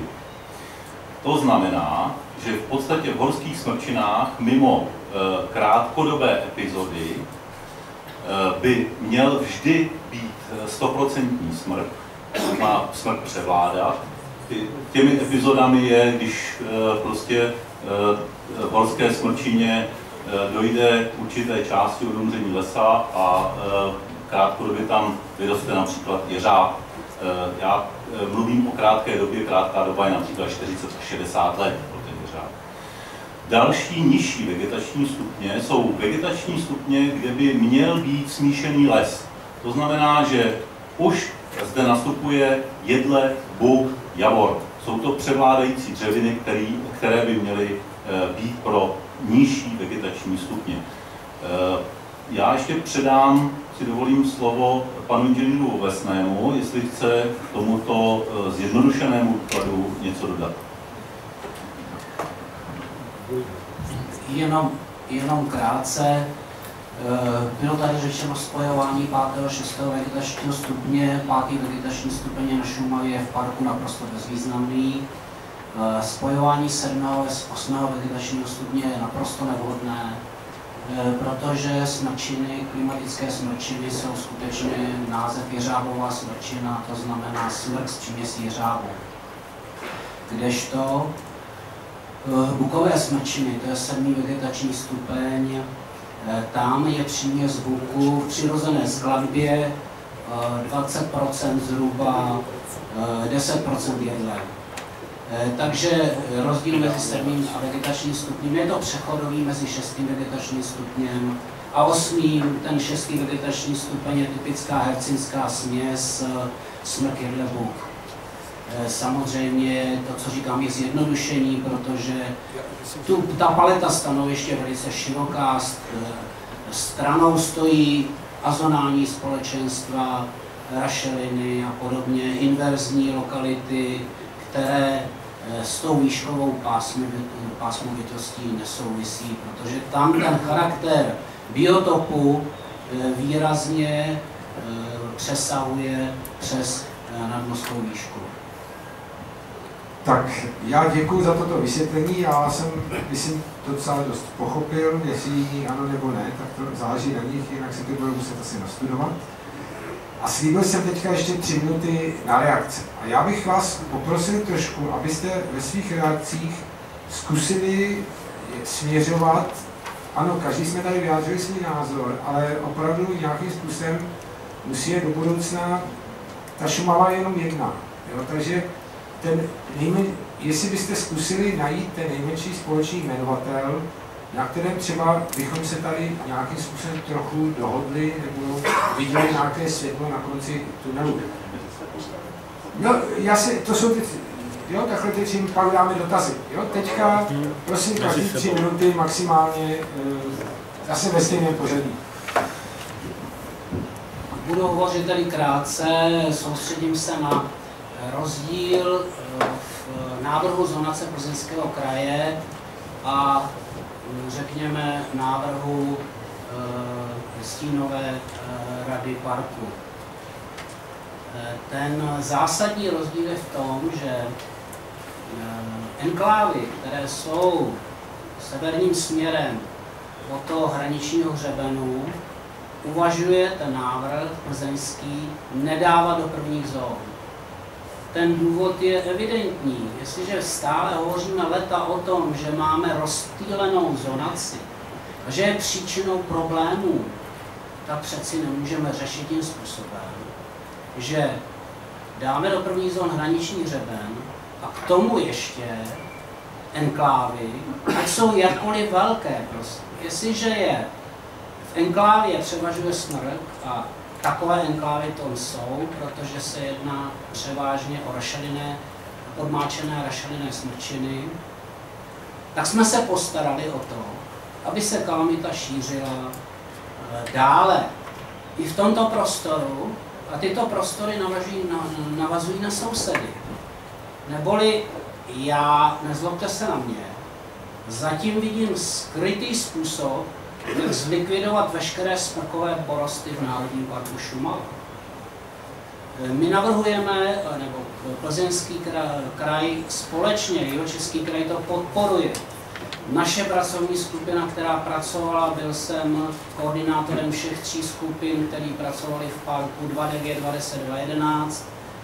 se s tímto názorem zonace Plzeňského kraje z těchto důvodů, které jsem uvedl, zcela stotožňuje. Dále e, jsou to prostory, které navazují na cizí vlastníky. E, dále se prosazují první zóny v návaznosti na cizí vlastníky v obrovském rozsahu. Takže to je asi rozdíl proti tomu návrhu, který tady, e, tady byl znesen. Děkuji. Děkuji. Já jsem z toho teda skoro pochopil, že zatím i z vaší strany by byl souhlas na, těch hranič, na tom hraničním uceleném území, teda to, co vidíme tady ty velké zelené fleky. S nějakýma výjimkama to lze takhle prohlásit, ano. Ale důležité je, co v té obálce potom bude. Jedna věc je otázka vymezení a druhá otázka je management, co tam bude dovoleno, co bude zakázáno. To je hodně široký, zase, zase široké téma, kolem kterého jsou, jsou velké diskuze, to znamená přístupnost. To znamená, e, budeme tam zalesňovat, slyším, že ne. Nesouhlasím s tím, co tady bylo řečeno, a to zásadně, že obnova ve Smrčinách je zajištěna. Projděte se pohřebeno mezi Třístoličníkem a Klešním jezerem. Projděte se pohřebené, projděte se velký malý roklán. Já bych předal už teď Děkuju. profesorovi Jeníkovi slovo.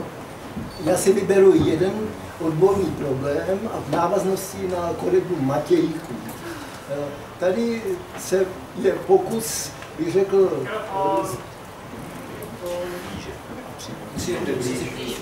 kolega Matějka tady se pokusil zdůvodnit, jak si ten menší malé bezzásahovost tím, že zcela normálně jednou za 180 let prostě jsou lesy napadeny. Já jsem jeho, tento údaj už si přečetl před několika lety, měl 170 let, nyní jsem slyšel tohle a hlavně před asi měsícem jsem dostal do ruky zcela novou práci tří Švýcarů, které si pozval Bavorský národní park, aby metrovou vrstvu takzvaného myslím, že se jmenuje Stangelfils, tedy taková nějaká malá, malé rašeniště u, na, na Luzním, ten, ten metr se podrobně rozkoumal v tomto smyslu. Nic takového se nedá říci. A nelze v té cykličnosti a necykličnosti prostě opomíjet k tomu, že Evropa byla vážně zasažena znečištěním a okyselením ovzduší takže samozřejmě určitě ten náběh na, a teď ten proces, bych řekl, velký toho odumír, toho napadení je samozřejmě daný také zmenšeným olistěním a oslabením smrku. Takže jako lidská ruka na pomoc tam měla opravdu být a nemělo, být, nemělo dojít bez zásahovosti. To je všechno. Takže děkuji. A Děkuji za slovo, já jsem si pečlivě dělal poznámky a dovolím, se, dovolím si zareagovat uh, krátce na uh, věci, které si myslím, že se příliš neslučují se skutečností. Uh, bylo řečeno tady řečníkem panem Bláhou, že bychom měli omezit exploataci Národního parku a do toho, že spočívá nebo se dá přiřadit i omezení lovu zvěře.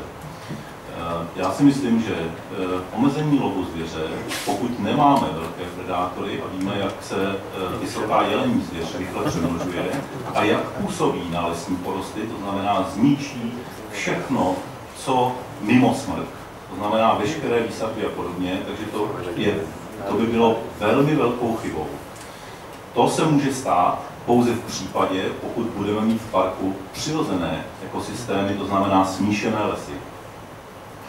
Eh, další eh, tady byl eh, bod zmíněn v souvislosti se zónací panem Hruškou, a to tak, že bychom měli nechat bezzásahové lesy tam, kde je sežráno, to znamená i v sedmém vegetačním stupni. Já bych chtěl upozornit na to, že to by byla opět veliká chyba, protože právě ten lem to, co bylo zmíněno tady kolegou eh, Obecním, kolem horských eh, smrčin, musí být právě smíšené smrčiny, které eliminují gradace kůrovce. A pokud toto nezměníme, tak nebudou lesy v Národním parku stabilní. A je třeba si uvědomit, že za posledních několik set let se změnila dřevo, dřevěná skladba v Národním parku ve prospěch smrku ze 49% na 84%. A to se stalo v nižších vegetačních stupních, než jsou horské smrčiny, protože horské smrčiny jsou 100%. To znamená, že to je velká chyba eh, ve prospěch destability eh, lesních porostů. Eh, potom bych si dovolil zareagovat velmi krátce, snad to stačím, na stejný problém jako profesor Jeník. A to se týká to, co tady řekl pan Matějka, že se opakují disturbance zhruba kolem 180 let. Já bych se tedy zeptal, pokud se toto stává každých 180 let, proč na Šumavě například u pramenů Vltavy byly eh, lesy starší 350 let, proč například eh, díky odumření kůrovci eh, odumřely poslední zbytky pralesů na Trojmezné, to znamená v Karu jezera, kdy v nedávné minulosti jsme zde našli smrk, který odumřel díky kůrovci v roce 2004 a byl stár 560 let. Děkuji za pozornost. Děkuji.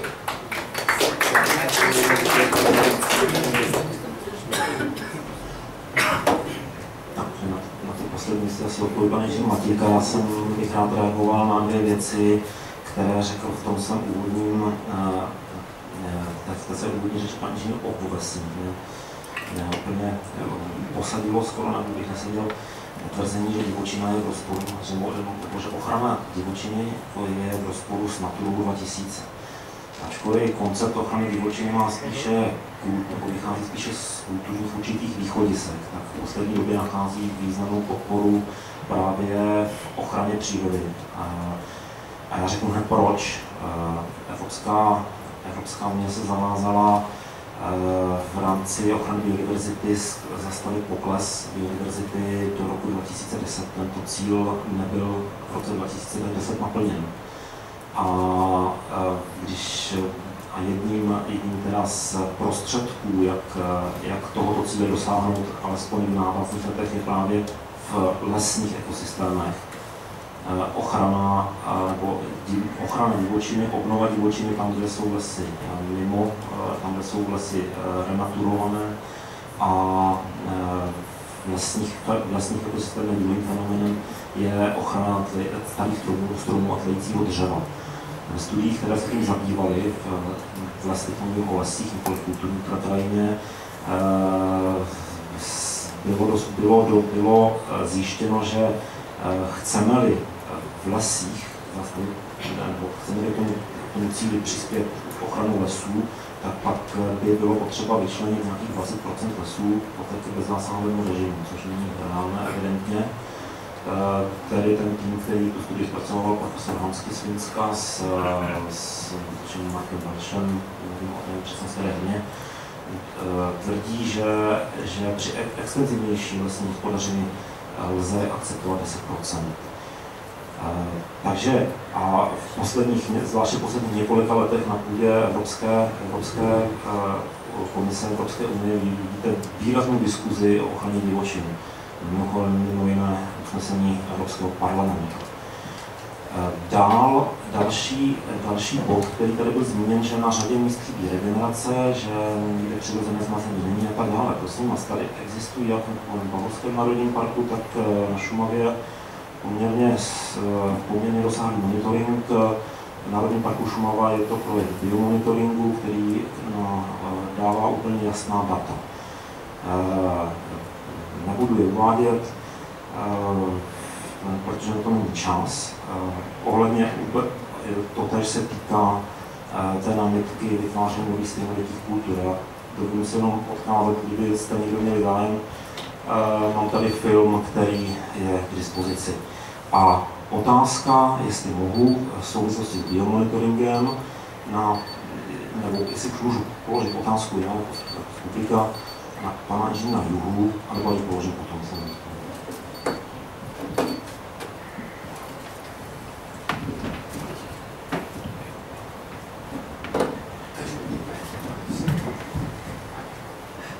Můžu, děkuji za ty tři minuty. Chtěl bych říct asi toto. Ten stav situace na Šumavě za posledních asi šest měsíců pěkně vygradoval v různých směrech. Kurovcovou kalamitu napadlo tisíciletí, napadla plíseň, že jo. E, těžba se musí dělat za asistence policie a tak dále. To, řekl bych, není zajímavé. Zajímavá je jedna poslední zpráva pro mě. Lesníci z Národního parku Šumava oznámili, že vysadí na 400 tisíc sazenic listnatých dřevin v rámci redukce zastoupení smeků na nevhodných stanovištích. Přitom je pomoc občanských združení při výsadbě vítána. Já si myslím, že tento poslední bod je jediným světlým bodem v tom temném šumavském tunelu. Mohl by být začátkem jednání o koncenzu. O koncenzu zdůraznuju, nikoliv o kompromisech. Myslím, že ten konsenzus by mohl ukončit nesmyslné monology všelijakých populistických politiků a mohl by dát impuls ke zpracování jiného modelu práce s lesem v národních parcích, než jaký se aplikuje v současné době. V tomto modelu by se pak mohl vyřešit způsob nakládání s riziky, s disturbancemi a ve prospěch obnovy přírodě blízkého stavu lesa. A vyřešit, a to je velice důležité, nejspíše formou nějakých pracovních združení, účast místních lidí, kvalifikovaných dřevařů při práci v šumavských lesích. Je mně neobyčejně záhadné, jak je možné, že z místních politiků všeho druhu se ještě nikdo o této záležitosti nezmínil. K tomu by mohl posloužit ten připravovaný nový zákon. Na to jsem se nedostal, abych to dopověděl dneska, Pozitivní je tedy na něm to, že Národní park se štěpit nebude. Negativní na něm je to, že je to naprosto bezkoncepční dokument v této podobě. Pokud zůstane v této podobě, tak můžeme Šumavský národní park podepsat.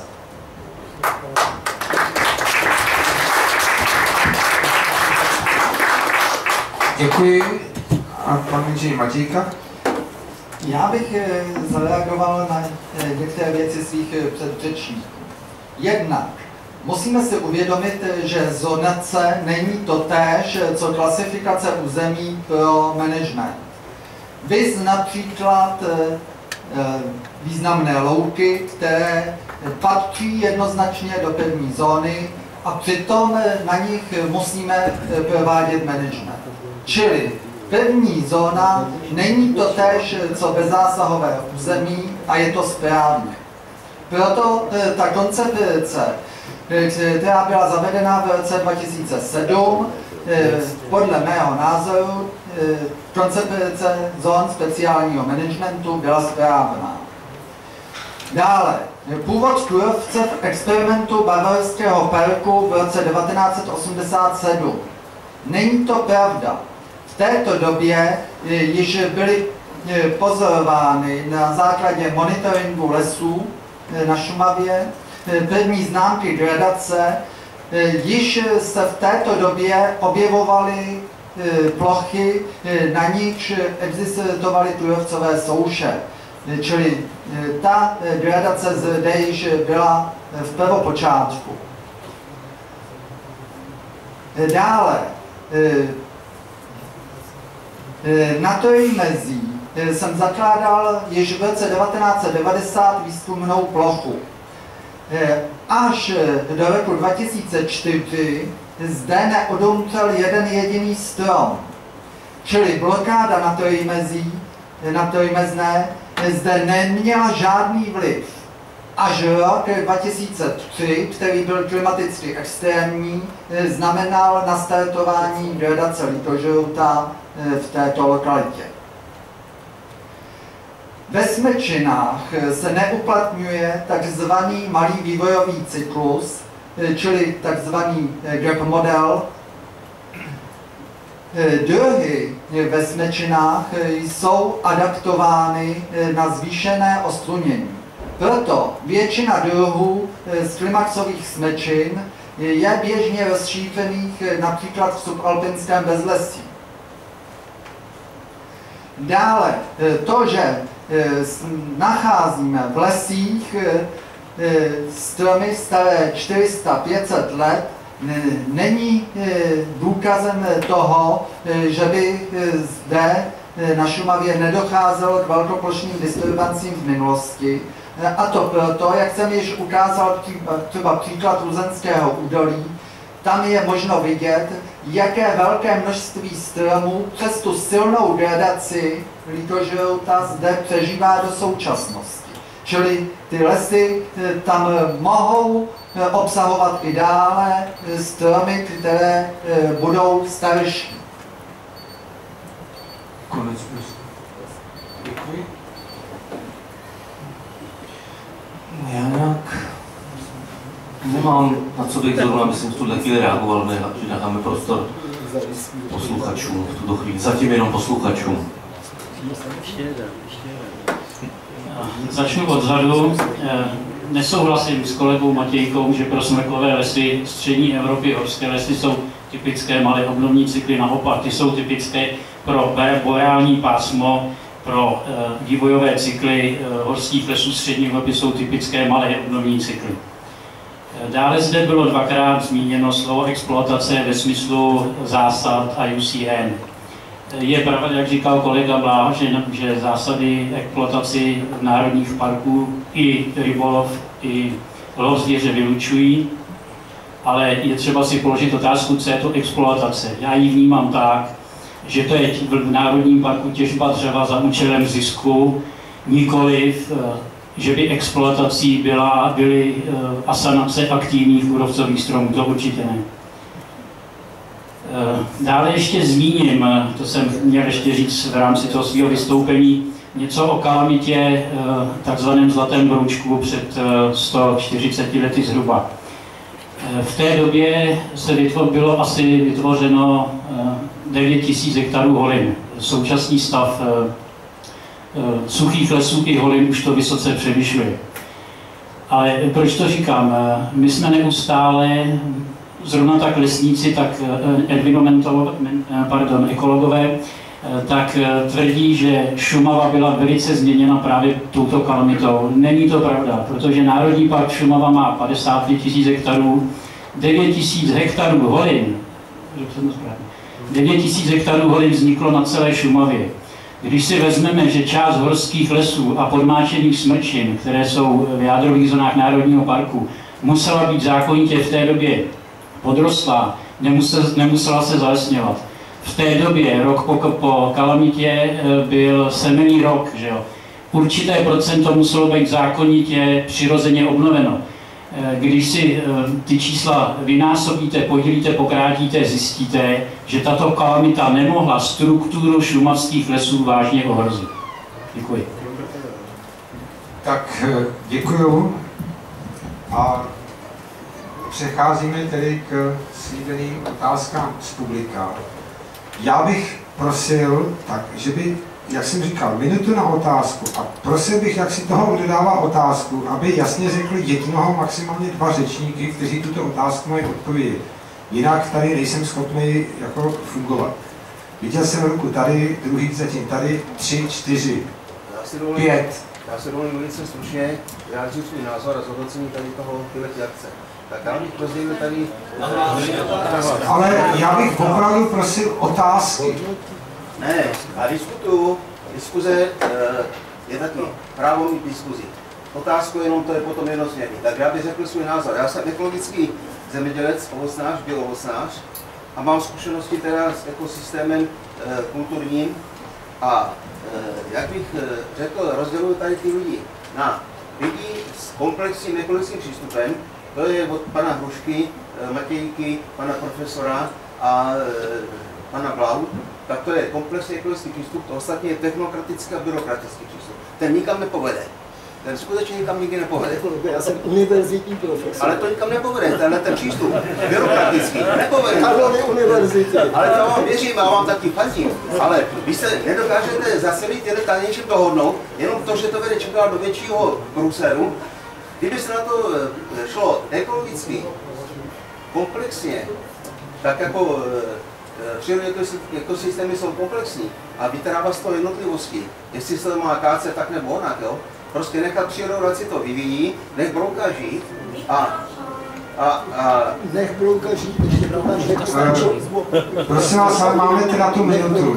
Ano, takže nech brouka žít, on vyhubí to, co tam nepatří a po něm bude místo pro biologický dřeviny a vytvoří se tam postupně ekologický uh, stabilní prostředí, ekosystém, který uh, bude mít šanci do budoucnosti. To znamená smíšený les a měli by tam být taky predátoři, ne, že myslím si že jenom oni mají právo na lov, Eh, aby to fungovalo jako ekosystém, tak tam musí být uh, taky predátoři. A já bych opravdu prosil tu minutu.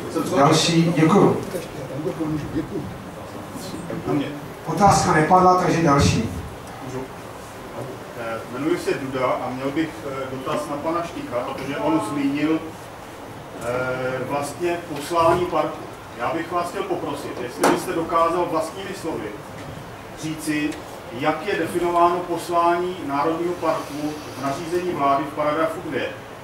A pokud ne, tak kdokoliv z vás zde přítomných byste ho dokázal ocitovat z tohoto dokumentu. Já vám ho přečtu. Ano, děkuji. Takže jasná otázka tentokrát, naopak. Prosím, tady vepředu, abyste si brali ty mikrofony, protože lidí je tady opravdu hodně, dozadu ty mikrofony bohužel posílat nemůže, nemáme přednostní.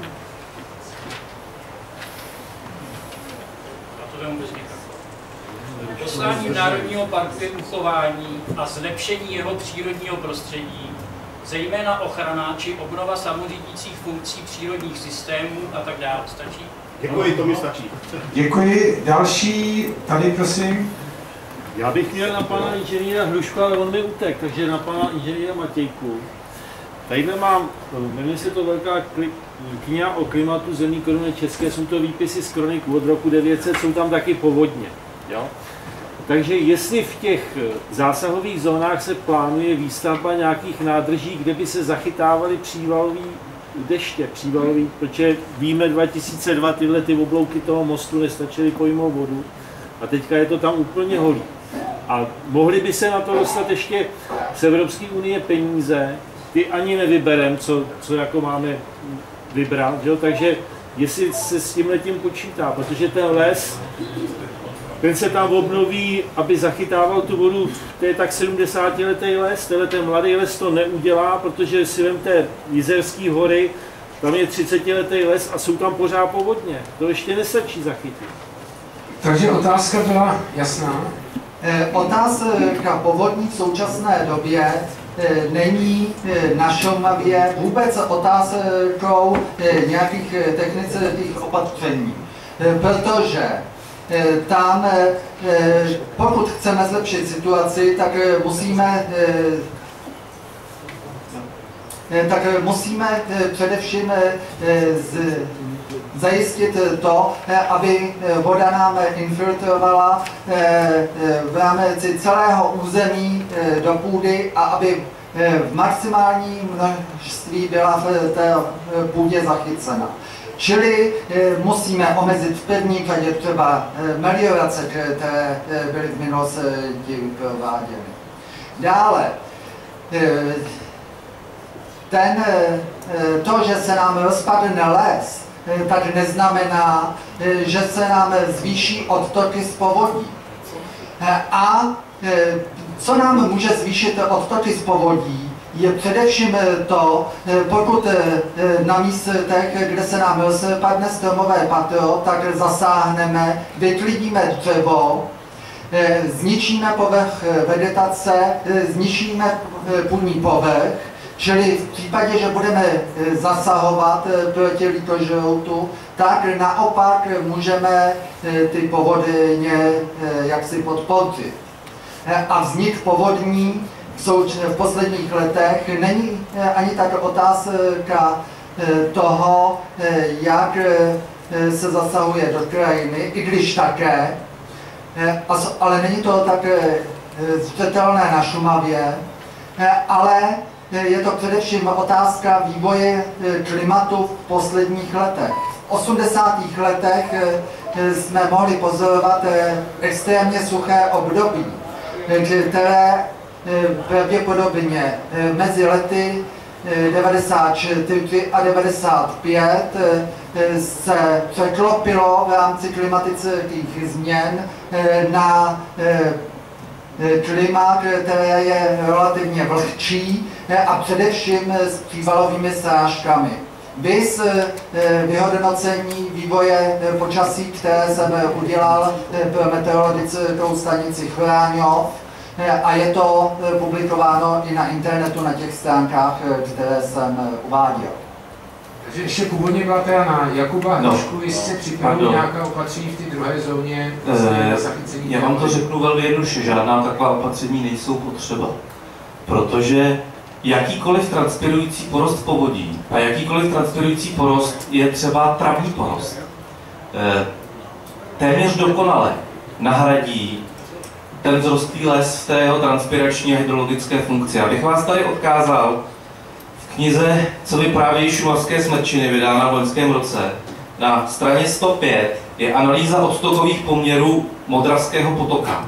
Od roku 1950 do roku 2010, to znamená zachycující kompletně období e, odumření části lesů, vrcholové části Šumavy. Vůbec nic tam není patrno, vůbec nic nezměnilo ty odtoky jsou identické. Ale tyhle, ty, tyhle ty výzkumy jsou známy třeba i z 50. letech z Besky, kdy se uměle odlesňovaly svahy a zkoumal se vliv odlesnění na vodní bilanci, aby se zjistilo, že ten vliv je marginální a trvá po tu dobu, než se tam uchytí transpirující vegetace. Já děkuju, protože je to jeden z takových jaksi ostrých bodů, tak já dám ještě přímo slovo rovnou jaksi někomu tady z lesnické, z lesnické strany, že na to asi budou chtít reagovat. Ano, já bych jako učitel rád zase opravdu zpátky definoval. Tady pan kolega, který sedí přede mnou, byl jaksi víceméně uspokojený tou definicí parku a tak já bych zase můžu rozborem jednoduchým pedagogickým rozvojem ujistit, že se hluboce mýlíte. Znovu přečtu, prosím cílem parku je uchování a zlepšení jeho přírodního prostředí. Přírodní prostředí není divočina nic, to, když taky to, se umí to říkali, volná příroda, divočina jsem cizí termín, naprosto nevhodně jsem zatahovaný, naštěstí ne úplně zákonným procesem, zřejmě se tedy neprosadí, ale tak dále. Ale teď dále, zejména ochrana či obnova samořídících funkcí přírodních systémů. Za, na té největší ploše, pane kolego, ta znamen, znamená obnovit samořídící prostředí, vnést tam směs těch chybějících buků, jedlí a klenů. A to musí člověk aktivně dělat, ne žádná pasivita a tak dále. Já vám souhlasil, že tam, že tam patří buky a jedle, jedle jsou už někde pryč úplně. No, ale, ale to je ohromná práce, aktivně a tak dále. Aktivně a ne. pak, je, pak prosím vás, já, času. Promiňte, já, já diskutuju tam Samořídící procesy jsou na nejrůznější, řekl, úrovni organismální a tak dále. To prostě jde od, bych řekl, fyziologie rostlin, stromů a tak dále, přes opravdu fyziologii celých stromů a také samořídící procesy v rámci těch ekosystémů celých, ale zejména záleží na těch stromech, to jsou dominantní klíčové organismy a ty musíme hlídat, ty nemusíme zbytečně nechat umírat. Děkuji. Uh, já jsem teda původně jsem myslel, že jak si zareagujete na tady, jak si na ty teorie kolem jak si odstokových poměrů odlesněných území, jestli můžete krátce, jestli někdo chcete. Takhle, můžu z toho teď k tomu. Mluví se o samotřídících procesech. Autoregulační procesy probíhají v jakémkoliv ekosystému autoregulační procesy eh, probíhají eh, i na opuštěném poli. Proto není důvod pro to, eh, aby v současných lesích na Šumavě, ať mají strukturu jakoukoliv, tak neprobíhaly autoregulační procesy. Ty tam probíhají a pouze mohou být narušeny tím, když tam zasáhne člověk. Tak, povodné, ještě prosím. Já si beru slovo k těm povodním. Prosím vás, eh, já si... Těch povodních, prosím vás, něco vím, protože to dělám celý život. Eh, Nezlobte se na mě, já opravdu budu trvat striktně na tom, co jsem říkal. Jako já vám, potom vám dám slovo, teďka tady dávám slovo kolegům. Omlouvám se. Já si dovolím krátce zareagovat na dvě věci. Eh, Autoregulační procesy probíhají i na smetišti. To víme. Ale prostě záleží na tom, jestli eh, jde o přirozené nebo nepřirozené. A další věc se týká eh, otokových poměrů. Stejné výsledky dělala Pražská fakulta lesnická. Já jsem se podílel na třech experimentálních povodích od roku 1995. Chtěl bych schrnout velmi stručně závěry. Ta, ta povodí byla jedna v zeleném lese, jedno v zeleném lese, jedno v suchém lese a jedno na holině. Zjednodušeně řečeno, v suchém lese a na holině probíhaly významné epizody sucha a významné povodňové epizody a v zeleném lese se takové epizody neprojevily. To znamená, že tam byl trvalý pozvolný odtok. To byl zjednodušený závěr eh, z těchto povodí, které byly trvale monitorovány a stahovány data jednou za rok.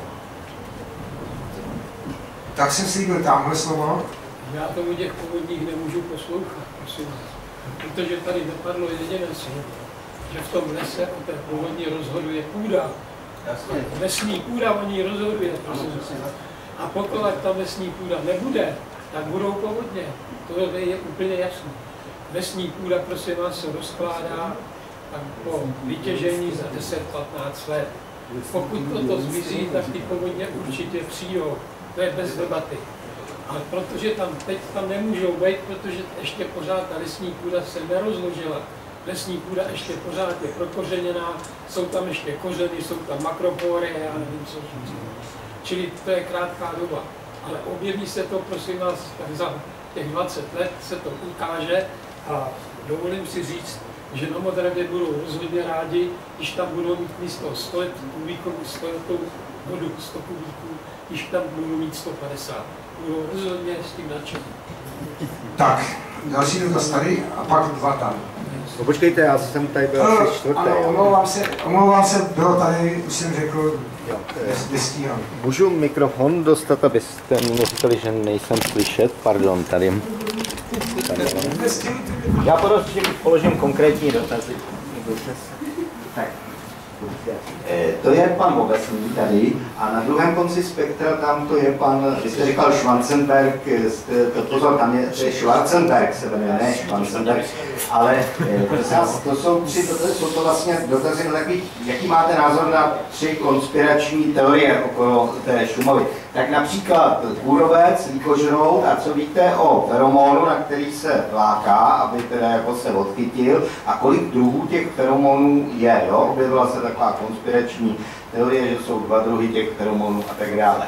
Potom, když si vezmeme tady tu, eh, tu mapu, tak tady máme přechod železná ruda, potom až strážní a jestli pak někdo nechce mít eh, přechod na modré. To je pořád otázka na pana Ovesného a vy jste pán Štych. Eh, Takže jestli tam není nějaký podnikatel, který by měl zájem tam prokopat něco přes Luzný, aby tam byl taky přechod a proč se začalo kácet tedy na ptačí potoce, i když Bedřich Moldán v Rádiu 6 říkal, že se mohlo začít kácet jinde.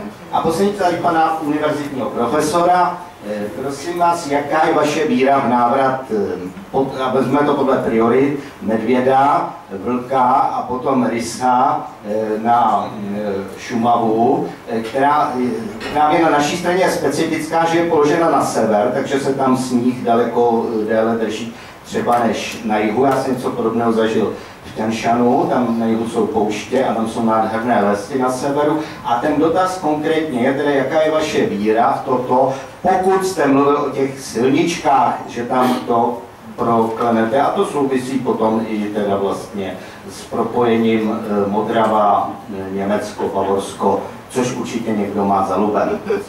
Tak, já myslím, že byly tady i zcela konkrétně něco na koho. Prosím zachovat kameru. Mně se zdá tedy odpověď na tyto otázky, že je úplně nepodstatná, zbytečně bez zdržovat, ale odpovím.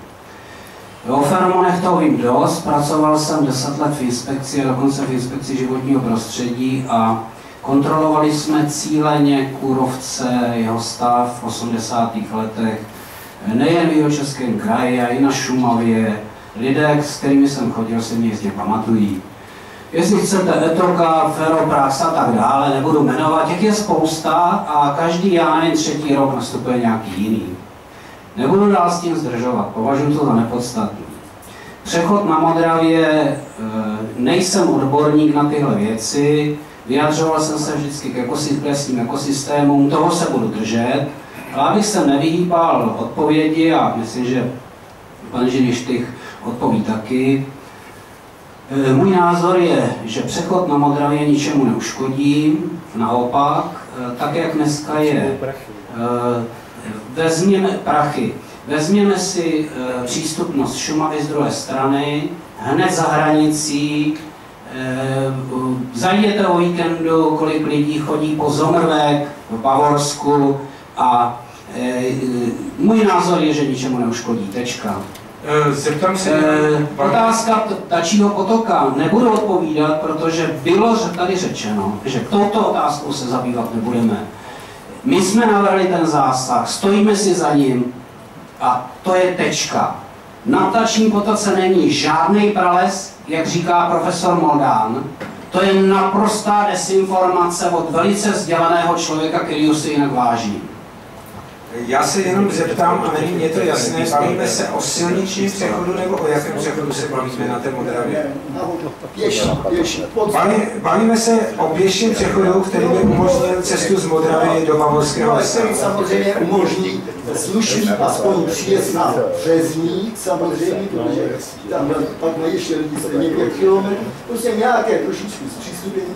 Určitě asi se nebude usilovat o to ani z německé strany, pak už nejde sedlem nic, ale samozřejmě přes modrý, modrý slout neumožnit českému obyvatelu z této strany při, kochat se trošičku hřebenem a tak dále, podívat se na, to, na ten různý, nebo podívat se na ten zbytek tragicky zničeného jezera kolem Velkého Roklanu, tedy to jezera, jezera takhle, to by si aspoň, to by se skutečně mělo, ale tato spoje skutečně Češi zaslouží. Eh, pane profesore, můžete rovnou od vás dotaz na vlky a medvědy? Mohu, mohu tak. Pokud je o návrat skutečně stabilní populace eh, medvědů a vlků, tak v to nevěřím. Je možné nějaké zatoulání, netrvalé. Já jsem věrný žák paní velmi slavné eh, učitelky paní doktorky inženýrky Novákové, tak vždycky říkala, když necháte roz, rozšířit velký, tak máte konec s ochranou přírody, kde stačí, aby jedna stařena případně byla zraněná, tak bude, tak bude prostě malé. Ale nejenom z tohoto důvodu, kde prostě ta, eh, ten náboj z střední Evropy je takový, že takovou zvěř tady prostě ne, se tady eh, Máme asi, tak ještě, ještě Já jsem dost dobře nerozuměl otázky na ty feromony teda.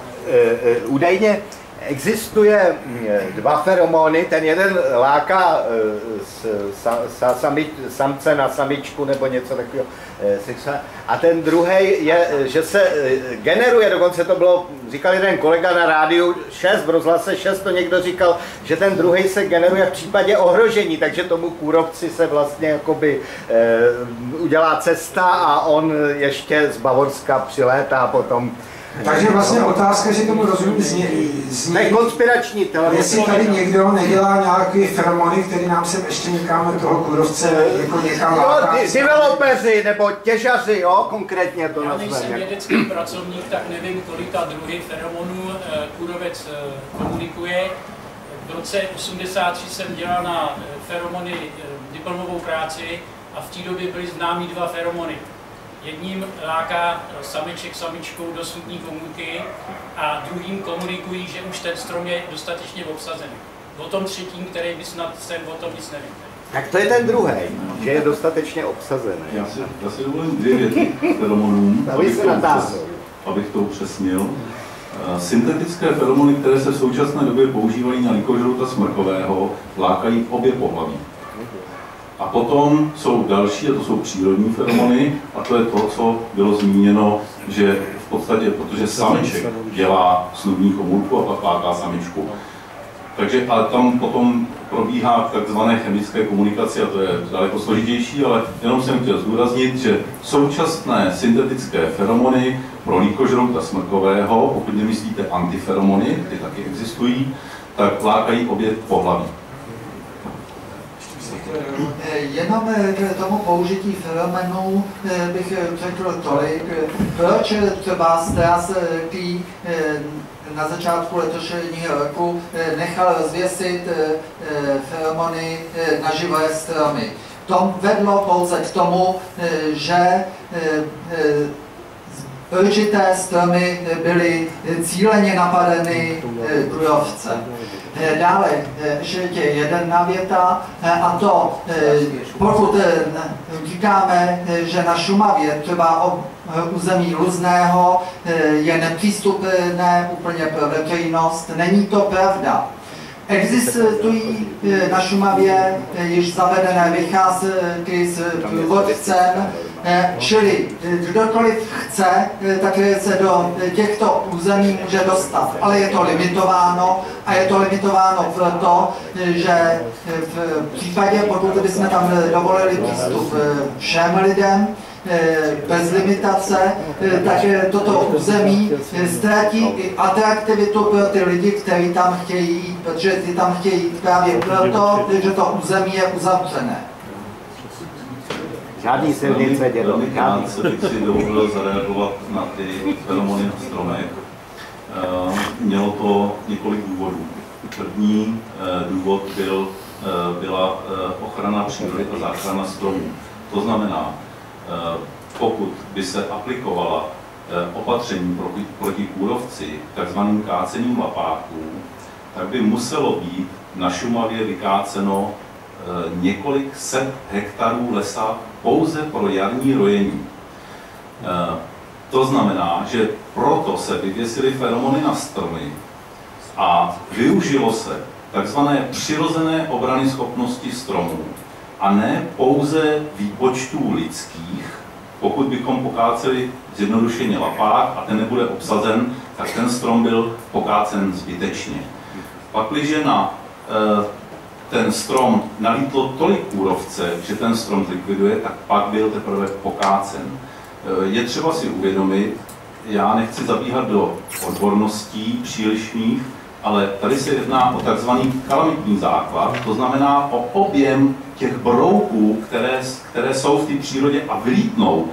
A, a děláme, co děláme. Eh, mohla se použít metoda eh, lapačů feromonových, nárazníkových, eh, tímto způsobem, který byl použit eh, se tato metoda omezila z toho důvodu, protože ta předešlá, o které jsem mluvil, když se pověsí feromon na strom, je efektivnější. A až teda na poslední řadě, tu jsem nechtěl zmiňovat, byla úspora zhruba 50 eh, až 80 milionů korun. Tak děkuji a konečně můžeme dát další otázku. Dvě otázky. První zní, že když se člověk rozhlídne na řadu trojmezné, tak tam je mnoho míst, kde kolem dokola člověk neuvidí ani jeden teda živý smrk nebo strom. Otázka zní, jakým způsobem se s tím příroda poradí bez lidského zásahu. Další otázka je tady pro eh, pana profesora, jestli by mohl říct ty základní principy, jakým, jakými obnovoval les, revitalizoval les Krkonoš. Děkuji. Tak eh, k první otázce se hlásí pan doktor Bláha a druhá byla položena jasně. Já jsem si podobnou otázku kladl v roce 2003 nad Štifterovým památníkem, to tam znám, že jsem se rozhlédl, tak jsem neviděl Eh, žádný mladý stromek, eh, jenom, jenom suchý. Teď, když se tam budete podívat, tak se nestačíte divit. Jakým způsobem se tam ty stromky dostanou, eh, tak to byla, to byla dlouhou dobu otázka, která, jedna z těch otázek, které nebyly zodpovězené. Jako, jako, v, tom, v těch porostech, kde uschla většina dospělých stromů, zůstává 1 až 10% zelených. Proč některé stromy vydržejí, i obrovský nápor kůrovce zatím není úplně, úplně jasné. Popsal to eh, teoreticky, to popsal uh, inženýr Kaňák, který dělal na Národní parku Šumava v oddělení evoluce lesa dávno předtím, než k té kalamitě došlo. On říkal, že on ji předpověděl uh, dopředu na základě, na základě on to vysvětloval v podstatě suchým stoletím, vysvětloval to tím, že nejsou, že stromy, které vyrůstaly v podstatě v minulém století, Eh, nejsou adaptované na podmínky století tohoto, které, kde, kde, jsou kde je dlouhodobý deficit srážek. A říkal, že dojde k, k reakci přírody, které, která, která, které dochází v případech, že se mění podmínky prostředí tak rychle, že populace se nestíhají přizpůsobit. Tomu se říká katastrofický rozpad populací a následný krok je tzv. efekt zakladatele, že z nějakých důvodů prostě určitý přizpůsobení jedinci přežijí a zakládají novou generaci. Tak to se přesně potvrdilo, ty stromy tam jsou, plodí. Jaký je přesně mechanismus, protože to, to se neví. A otázka byla, jak se jejich semena rozšíří i tam, kde žádný strom v dohledu není. Protože při ani vítr ty semena ne, nezanese tak daleko. Eh, díky tomu, že právě třeba v Národním parku Bavorský les už před eh, v roce 83 ponechali lesy eh, přírodě, tak odpověď tam dostali. Strom nebo smrky vlastně se smrku, smrkový šišek vypadávají semena v zimě. Dojde k podmínkám, že na sněhu po nějakém poledním tání se vytvoří mm, a potom ochlazení se vytvoří ledová krustička tak vítr rozfouká ty semena potom po té se jako po kluzišti na kilometry daleko. Děkuju. Pokud jde o ty krkonoše, já jsem to zmínil jen velice krátce. Vyšli jsme ze znalosti dynamiky lesa. Měli jsme dobré znalosti, jakým způsobem prochází eh, nebo probíhá přirozená, pardon, přirozená sukcese. Jakým způsobem se na ní uplatňují, jaké dřeviny se na ní uplatňují. A tyto přirozené procesy jsme kombinovali s adaptivním managementem. My jsme nechtěli v Krkonoších založit jakýkoliv les, anebo pokračovat v té praxi, kterou tam dříve provozovali státní lesy. Všude vysazovali zase jenom smrk. A nebo dokonce pod hranicí lesa do lesního pásma se vel, na velkých plochách vysazovala umělé kosotřebina. Protože ta vydržela ty kyselé depozice lépe než jsme tak, Něco takového jsme, něčem takovým jsme pokračovat nechtěli. Kombinovali jsme přirozený proces a adaptivní management spočívající v tom, že jsme dosa, dělali dosadby dřevin, které na určitá stanoviště patří. Samozřejmě, že jsme našli dokonce buk až ve výši hranice lesa. Ale to jsou forposty a toho je málo. A kdybychom na to jenom čekali, tak budeme čekat třeba několik set let. Proto jsme se rozhodli k tomu, že tyto dva procesy budeme kombinovat. Myslím si, že jsme rozhodli dobře. Eh, takže já bych se pokusil odpovědět na tu otázku trojmezné ještě trošku obecněji napřed. Eh, záleží, jak je eh, porost předzmazený. To znamená, co má v té fázi, kdy se porost začne rozpadat, už již zmazeno, a pak, když dojde k té rychlé fázi, tak uh, mám základ už. Eh, důležité je taky, v jaké fázi došlo k rozpadu. Třeba Steinberg najdete území, které je velice dobře prozmlazené, ale v prostoru, který vzniknul po maloplošné kalamitě. Vedle na stejném pohoří, na stejném kopci máte Eh, prakti- porost prakticky bez zmlazení, ten, vznik, ten se rychle rozpadl, mladší porost, a nebyl pod zmlazem. Neboli toto všechno nacházíte v té přírodě. Problematický je samozřejmě velkoplošný rozpad, a to je případ trojmezné, kdy velice daleko od toho místa rozpadu nemáte žádné vyspělé stromy. Mluvit na trojmezné o nějakých zbycích je třeba se tam podívat.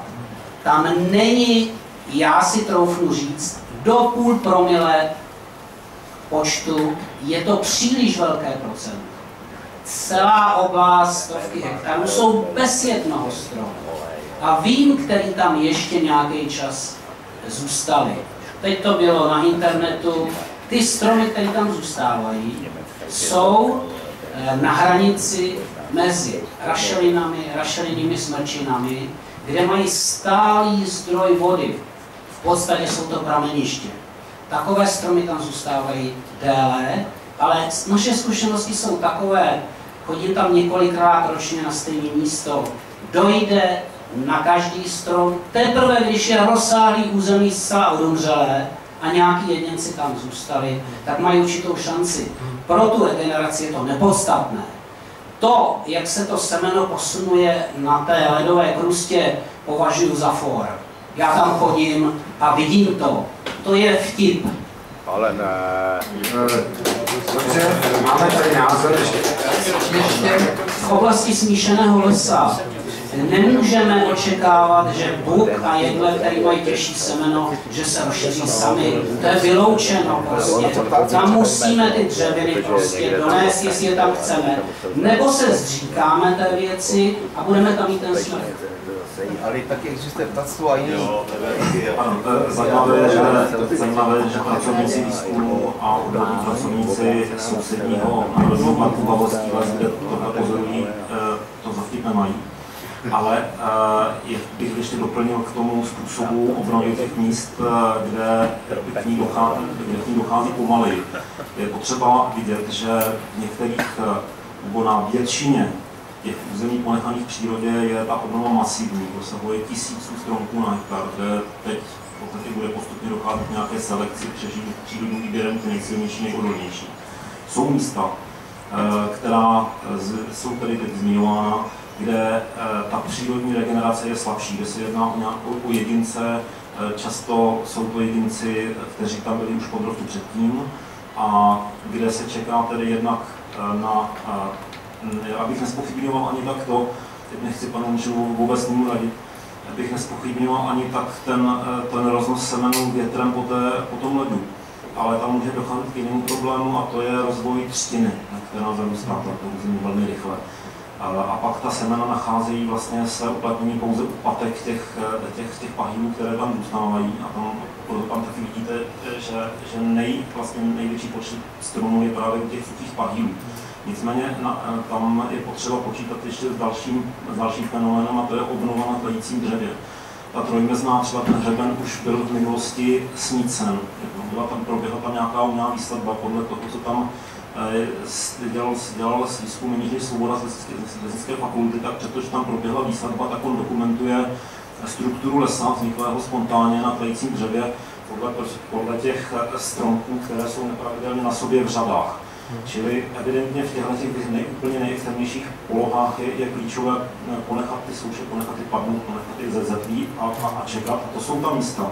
Pan Jižní já si myslím, že, že pan Štích říkal důležitou věc, ohledně zakmenění, ohledně, ohledně té minulosti, že ten řídký smrkový les, tak jak ho známe třeba v těch, v tom, v těch nejvyšších polohách Krkonož nebo některých těch, skutečně na Šumavě, pravděpodobně jevem spíše pomístním právě v těch nejextrémnějších, nejextrémnějších polohách. A tam tímhle tím způsobem se obnoví lesy, které budou řidší, těch, těch oblastí je velmi málo, ale jinak asi, asi, asi, asi, asi je skutečně pravda to, co říkal, že převážná většina těch horských lesů skutečně byla nebyla eh, řídka, tak jako známe horské třeba v jiných pohoří.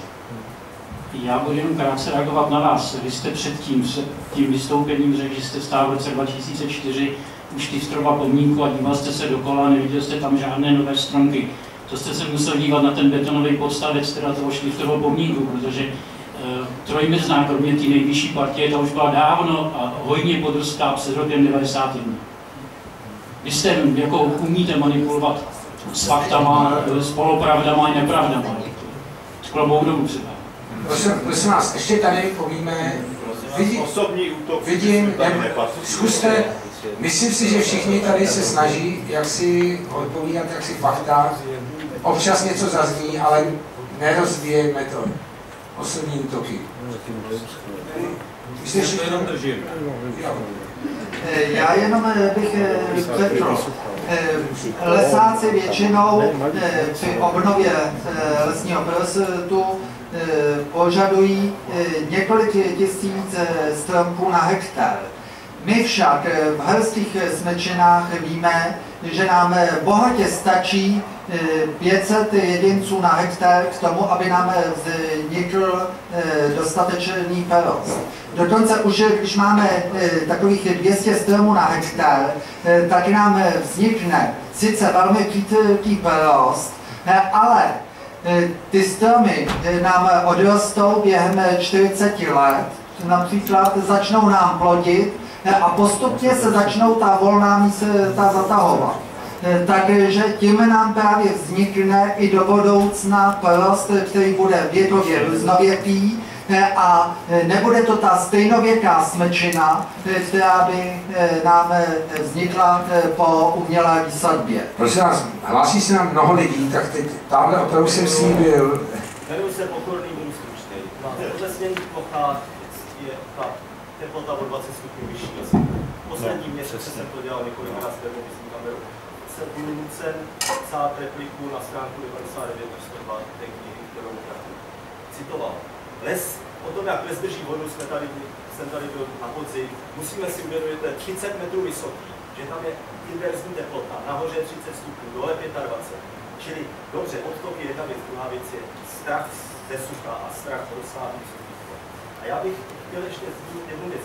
Nezapomeňte, že když se vyhlašoval park, aby to nepadlo, že zvítězila teze na lesní experience, že zvítězila teze, že kůrovec se nerozšíří. Proto byly ty zásahové zóny a proto se nekácelo, to se tu neřeklo. Prosím vás, mějme to tak. A mám dotaz na pana vládu. Pane vládu, my jsme byli spolu v té misi, já jsem byl ve obojí, na UCN, té druhé, protože jsem tenkrát seděl s Scientific Review panel, než by tam seděl, to jsem tam věděl. Tak, tenkrát bylo 1500 hektarů suchého lesa. Tenkrát jsem řekl, prosím vás, neplatíte se, že se kůrovec nerozliší. Na čí zodpovědnost se nebudu? Dneska je 20, dneska je 10 tisíc hektarů suchého lesa. Kdo za to má zodpovědnost? Jestliže veřejnost. Jestliže se mě ptá kolega, jsem byl biologický. Kdo za to může? Když se zeptají, kdo to špatně, kdo bude stát a zodpovídat se veřejnost za to, že necháváme schnout les. A jestliže tato kampaň, která se vedla letos bude pokračovat, tak za rok máme další tisíce hektarů. Pojďme se na tím zastavit. Kdo zodpovídá za 10 tisíc hektarů suchého lesa? A kdo se ptal veřejnosti, já jsem tenkrát napsal, okamžitě se pojďte zastavit a veřejnosti parlamentu, případně volených orgánů, jestli chtějí park za tu cenu, že bude schnout les. Čili dotaz na pana vládu, kdo zodpovídá za 10 000 hektarů.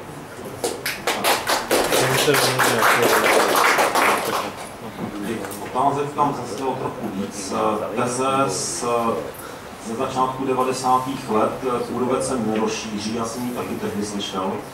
A tehdy ještě byla jedna teze taková, která, podobná, která se taky nepotvrdila, že tam, kde les sežral kůrovec, už se les neobnoví. Třeba budu citovat, budou tam smilková, smilkové stepy a kamená, kamená moře jako na Luzny. Takže tady vidíte, že zdaleka ne všechno, co se říkalo v 90. letech, se naplnilo. Ohledně zodpovědnosti. Já teď přesně nevím, eh, kam ta otázka míří. Zodpovědnost eh, si myslím nese každý, kdo se k tomu problému vyjadřuje a ovlivňuje je. Jestli se ptáte na to, jestli je zodpovědnost ředitele Stráského větší než zodpovědnost eh, Jaromíra Bláhy, tak já vám povím, že já jsem ještě neviděl politika nebo, nebo úředníka, který by skutečně zodpovědnost za svá rozhodnutí nesl. Takže tohle je jasná odpověď. Další otázka. Čestný Hofanzo, já jsem byl o tuhle poslanec, byl jsem u zakládání parku. Parku jsem rok a půl dělal. viděl jsem celý vývoj 90 let. A chci říct, v tomto problému vůbec nejde o odbornost. Je to záležitost kulturní. No? Je to vyloženě záležitost kulturní. Jestliže v lidské společnosti vymažete pojem, co je to morálka, tak přestává existovat věda, přestává existovat jakékoliv exaktní poznání a nemůžete brát vážně skoro nic, co kdo řekne, zvláště jde o něco. Jo? Prostě bohužel to je smutná pravda. E, to, co tu říkal Honza předtím, o tom kůrovci. Já jsem měl šanci vidět, když bylo vyhlášována bezzásahovost, jak se lidi, kteří byli zainteresovaní na tom, aby park nebyl, jak se smáli. Tady totiž nebyla řečena 40 let v této zemi pravda, jak to ve skutečnosti bylo s lesama na našich severních horách. Jo? Jak to byl komplexní problém a v podstatě, že to nechali vyžrat kůrovce. Jo? 40 let se tu neřekla pravda. V podstatě všichni, takhle ještě, helejte, půl století na Šumavě to území patřilo v podstatě největším grázům toho bývalého režimu. Dotaz. Jo? Byly to pohraniční vojska. Rozhodovali o životě a smrti. Samozřejmě, že po 90. roce ty lidi a ty kruhy měli úplně jiný zájem o Šumavě, než aby tam byl park. Ten park se vyhlásil tam díky eh, Petru Bidháčovi v tom březnu 91. Ještě předtím, než byly ty parky dostatečně silní. A ještě bych chtěl dodat, já jsem původně ekologický fyziolog, jsem biolog, trochu o věci, trochu prostě o věci vím. Jo? Bohužel to, co jsem viděl dělat ekologisty v 90. letech a doposud? Za komunistů ještě ty ekologové jim šlo o věc. To, co teď dělalo ekologii, ty jejich špičky, tak jeli v jiném triku, než v zájmu přírody. Bohužel o tom to bylo. Jo? A já, nevěřím, já, už budu končit. já už budu končit. Já nevěřím v podstatě, že v tomto, dokud se nezmění vůbec politický prostředí této země, že je možnost kolem Šumavy na něčem dohodnout. To prostě nejde. No, dotaz, dotaz tady nebyl, co se týče toho politického prostředí. Obávám se, že to je opravdu smutná pravda, že jak si to politické prostředí, kde teda ta zodpovědnost je skoro nulová, je hrozně, hrozně tím. Takže další dotaz tady. Já mám dotaz nejspíš na pana profesora Fanto, ale samozřejmě i na další případně. Protože takto bychom tady plakali, jak to nejde a to asi není účelem, ale přece jsme v Evropě součást, měli bychom být součástí Evropy. Jaké jsou teda ty zkušenosti v těch jiných zemích, například na západ od nás a podobně, že teď tam přece taky nějakým způsobem hospodaří a není to jenom teda Bavorský národní park, jsou to i ty zkušenosti další.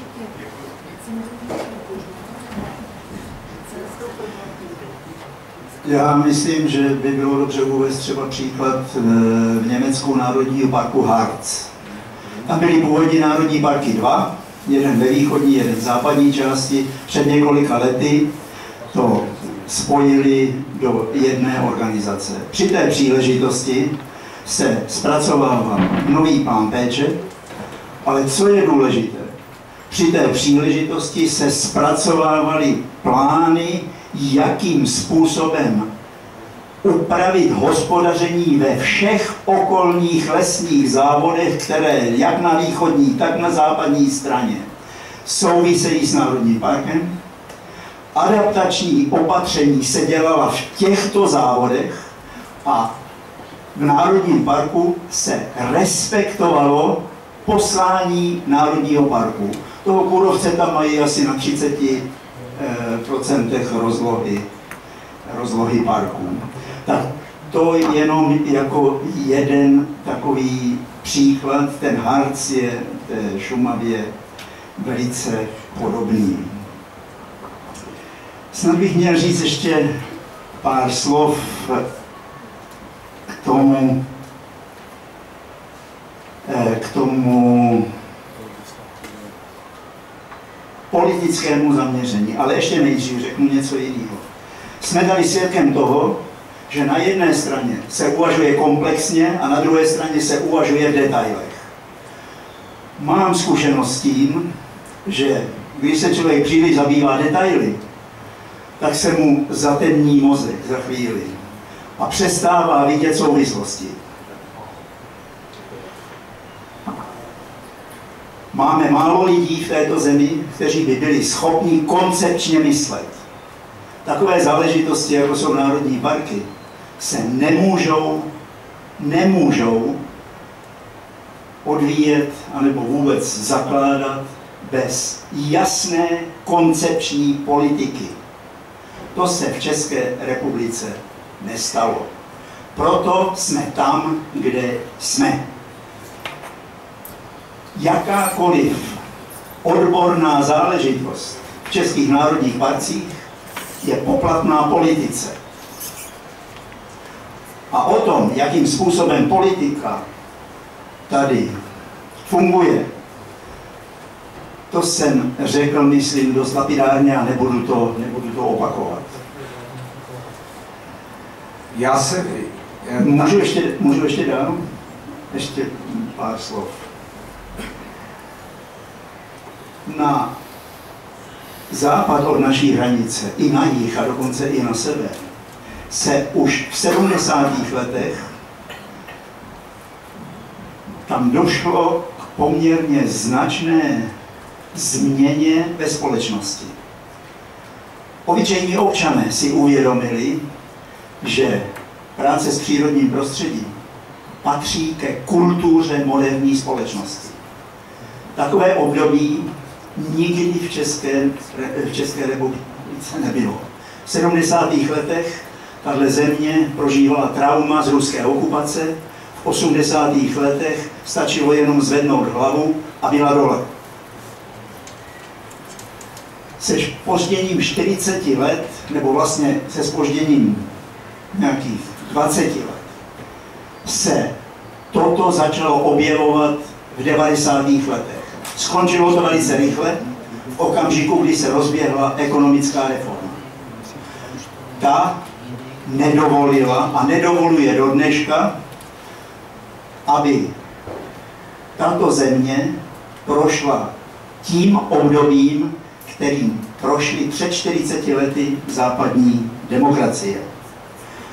A toto je moje výzva k panu Pithartovi a ke všem ostatním.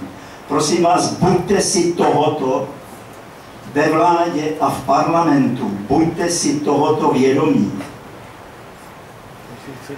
že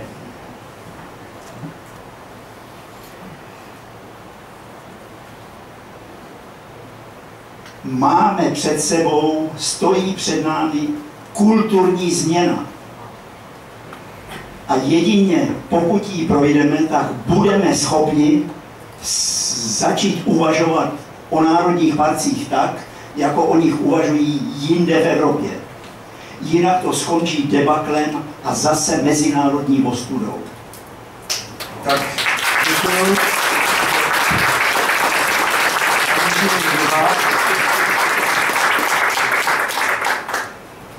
si dovolil krátce zareagovat na ty rozdíly mezi uh, různými národními parky v Evropě. Bylo to zmíněno, já si myslím, že to nebylo dořečeno.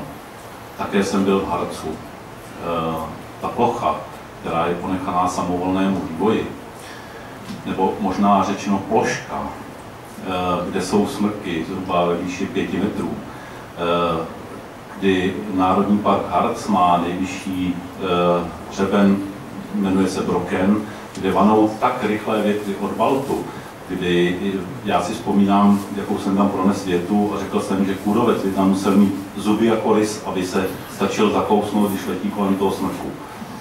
Promiňte, tohle ale já bych si dovolil podotknout, že v podstatě to přirovnání k Šumavě bychom mohli najít pouze v Tatrách, protože v ostatních národních parcích, v západním Německu a podobně, jsou třeba prvními zónami, jsou tam hory, kde, kde je třeba bezlesí a tam lidská noha ani nevkročila, takže tam samozřejmě si můžeme tvořit první zónu eh, ze dne na den a nespůsobíme žádný kolaps eh, ekosystému. Eh, a tím rozsahem kalamity skutečně jsou Tatry velice blízko, a, ale zase jsou velmi rozdílné reliefem terénu. Takže vůbec si nemyslím, že bychom našli srovnání mezi Šumavou a jinými národními parky. Ještě, ještě můžu, Z těch Tater známe taky ještě něco jiného, že na slovenské straně se zasahovalo proti kůrovci a na polské straně to nechali být.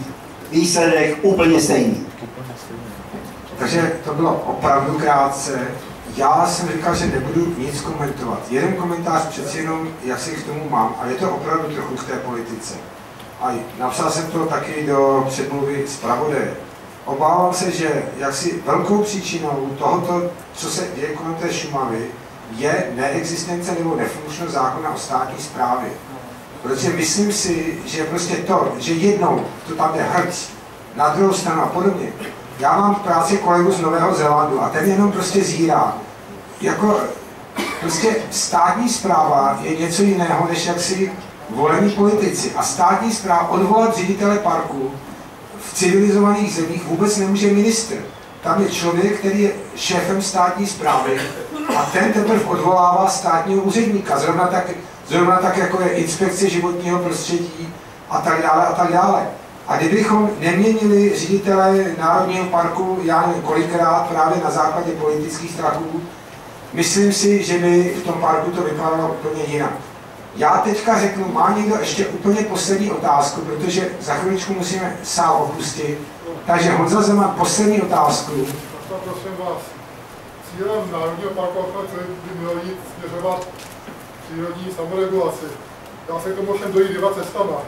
Buď divokým experimentem, který nejspíš skončí, jak tam žádný les nebude, ale tam kulturní spoušť. To je to, kam se dal pan Láha a jeho parta z Materského parku že budeme lesnickým managementem postupně ty lesy měnit.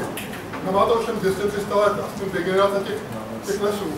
Samozřejmě na, na, původní, na relativně původní přirozenou druhou vedoucím ke klimatickým změnám. Myslím, že se Česká republika zásluhou některých vydala svou cestou, výsledkem je zničený národní park, zkompromitovali hlasy pro jeho, pro jeho redukci na polovinu, to by Moldan, prosím, který jinak je pro bezzásahový režim a naprosto sasté pojetí bezzásahovosti. To vše. Tak, to nebyla otázka, byla to tečka nebo komentář tady. Můžu já jenom jednou větou zastuž tež předsednictví. Když jsme, když jsme to tak připravovali, že tak nám to trvalo dlouho, protože i my jsme byli rozpolceni. Jsme rozpolceni. Já jsem ekolog, bioložka. 40 let v Holandsku, já vím, o čem mluvím profesor Fanda. Učila jsem, v ekologickém ústavu jsem pracovala. Vím, jak to funguje tam, vím, co funguje a nefunguje zde. co mě nejvíc mrzí, a co jsem doufala, že se tady třeba podaří, že se možná Jirka Dlouhý o to poprosil, jestli byste se mohli pokusit na závěr najít tu nejmenší styčnou plochu, co byste vy lesáci chtěli od Národního parku? Co by biologové, ekologové, já vím, co já bych chtěla, ale já nebudu mluvit. Jak byste si představovali, že by Národní park Šumava měli, měl vypadat jednou větou? Takže já bych to udělal tak, že bych prosil o tu jednu větu každého takhle do kolečka a tím poděkuju zároveň všem za, myslím, velmi zajímavou besedu a rozloučíme se potom. Musí se říct základní koncepce. Bavorský národní park říká, my chceme 75% bezzásahovosti. Chceme k tomu dojít a říkají v jakém čase. Dělají proto kroky. E, tady se Ta situace je jiná u nás. Není na to čas, má to být jedna věta. Já tady mám deset eh, položek, jak se liší Bavorský národní park od našeho parku. Hlavní otázka je velikost a převaha smrku.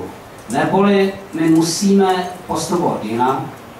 Bezzásahové území vedou k totálnímu rozpadu porostu. My nemůžeme pokračovat v rozšiřování bezzásahových území, protože už jsme v oblasti smíšeného lesa a tam musíme měnit druhou skladbu.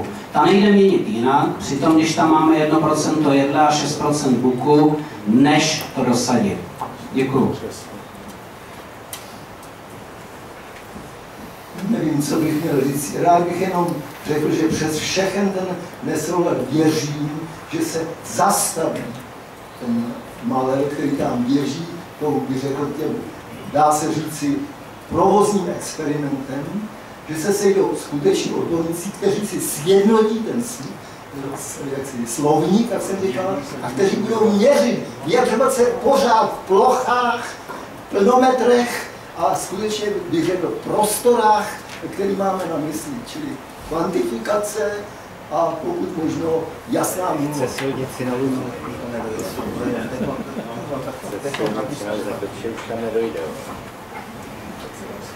Možná překvapí, že jsem pro možná větší rozšíření eh, bezzásahových území, ale podmínkou je to, abychom obnovili přirozenou dřevěnou skladbu jako přirozenou bariéru šíření kůrovce a tudíž, abychom měli rezistentní lesy vůči kůrovcím, nebo částečně, nebo hodně rezistentní, tak aby vlastně v těchto smíšených lesích nemohl kůrovec přirozeně gradovat a ochránil horské smrčiny.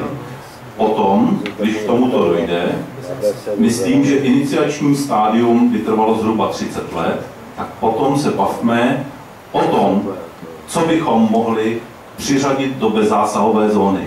Změna z jednoho na druhý rok je zcela nesmyslná v tomto stavu lesa. Děkuji. Jednou větou představu nebo přání rozvěta. Já bych přál přírodě Šumavského národního parku lidskou pokoru. Tak, tak.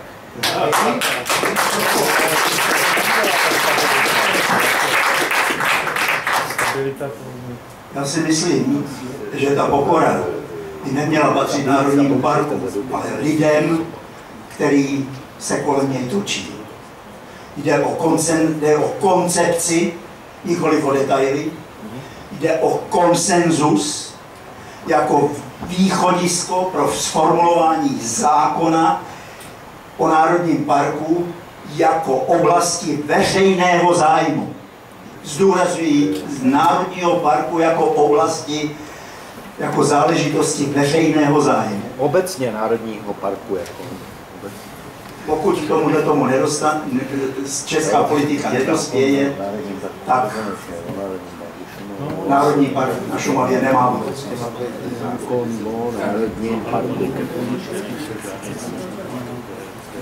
Já bych eh, k tomu řekl snad pouze, nenechejme experimentovat člověka, eh, který na Šumavě zasahuje jen několik století, ale nechme volnou ruku přírodě, která dokáže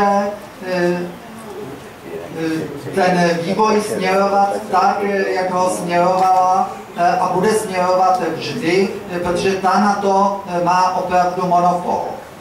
Dál bych řekl to, že les nám na Šumavě v současnosti neodumírá. Odumírají pouze stromy, pouze vzrostlé stromy a pouze některé vzrostlé stromy.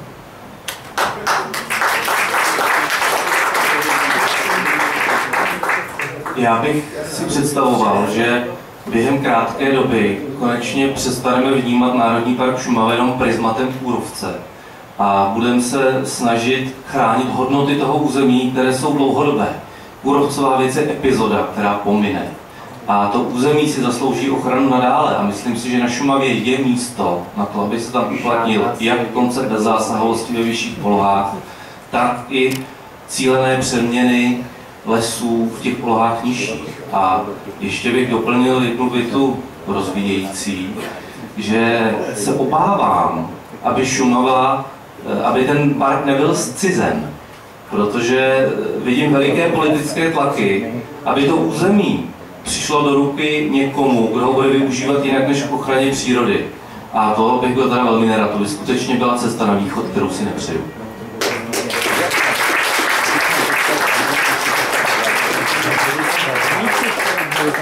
Protože jsem Šumavu dobře znal s rokem 1991, tak jsem si představoval, že po vzniku Národního parku ty přírodní ekosystémy, když ne v lepším, tak budou zachovány, ale alespoň v takovém stavu, jako před tím rokem 1991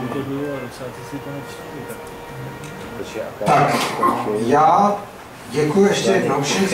Ještě tady pan doktor Pridhart, tuším chtěl něco říct nakonec, si mě tady hlásit.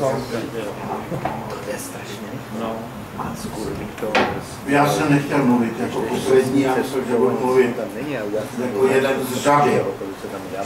Já přece jenom jakýsi společný jmenovatel cítím. Odolejme pokusům o zmenšení parku. Já to cítím ve vzduchu. Se může stát nejen de jure, se může stát taky i de facto. A pak tedy budeme mít jednu třetinu dokonale bezzásahovou a dvě třetiny zlikvidují developeři.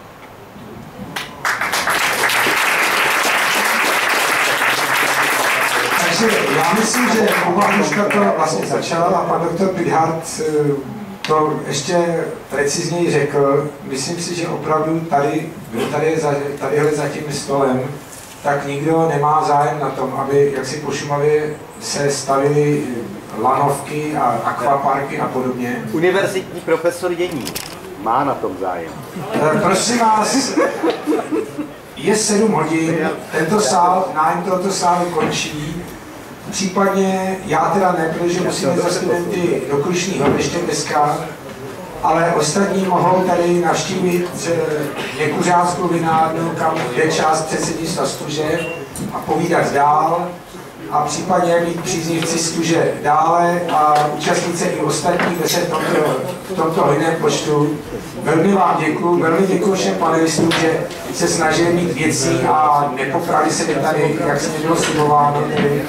Naopak bylo to vel, velmi, myslím, věcné a děkuji, nashledanou dobrou noc, dobrý večer.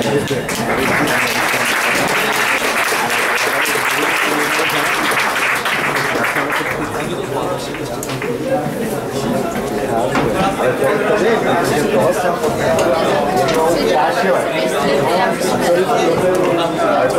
Předseda vlády, to už je všechno měl, tak to byl předseda vlády.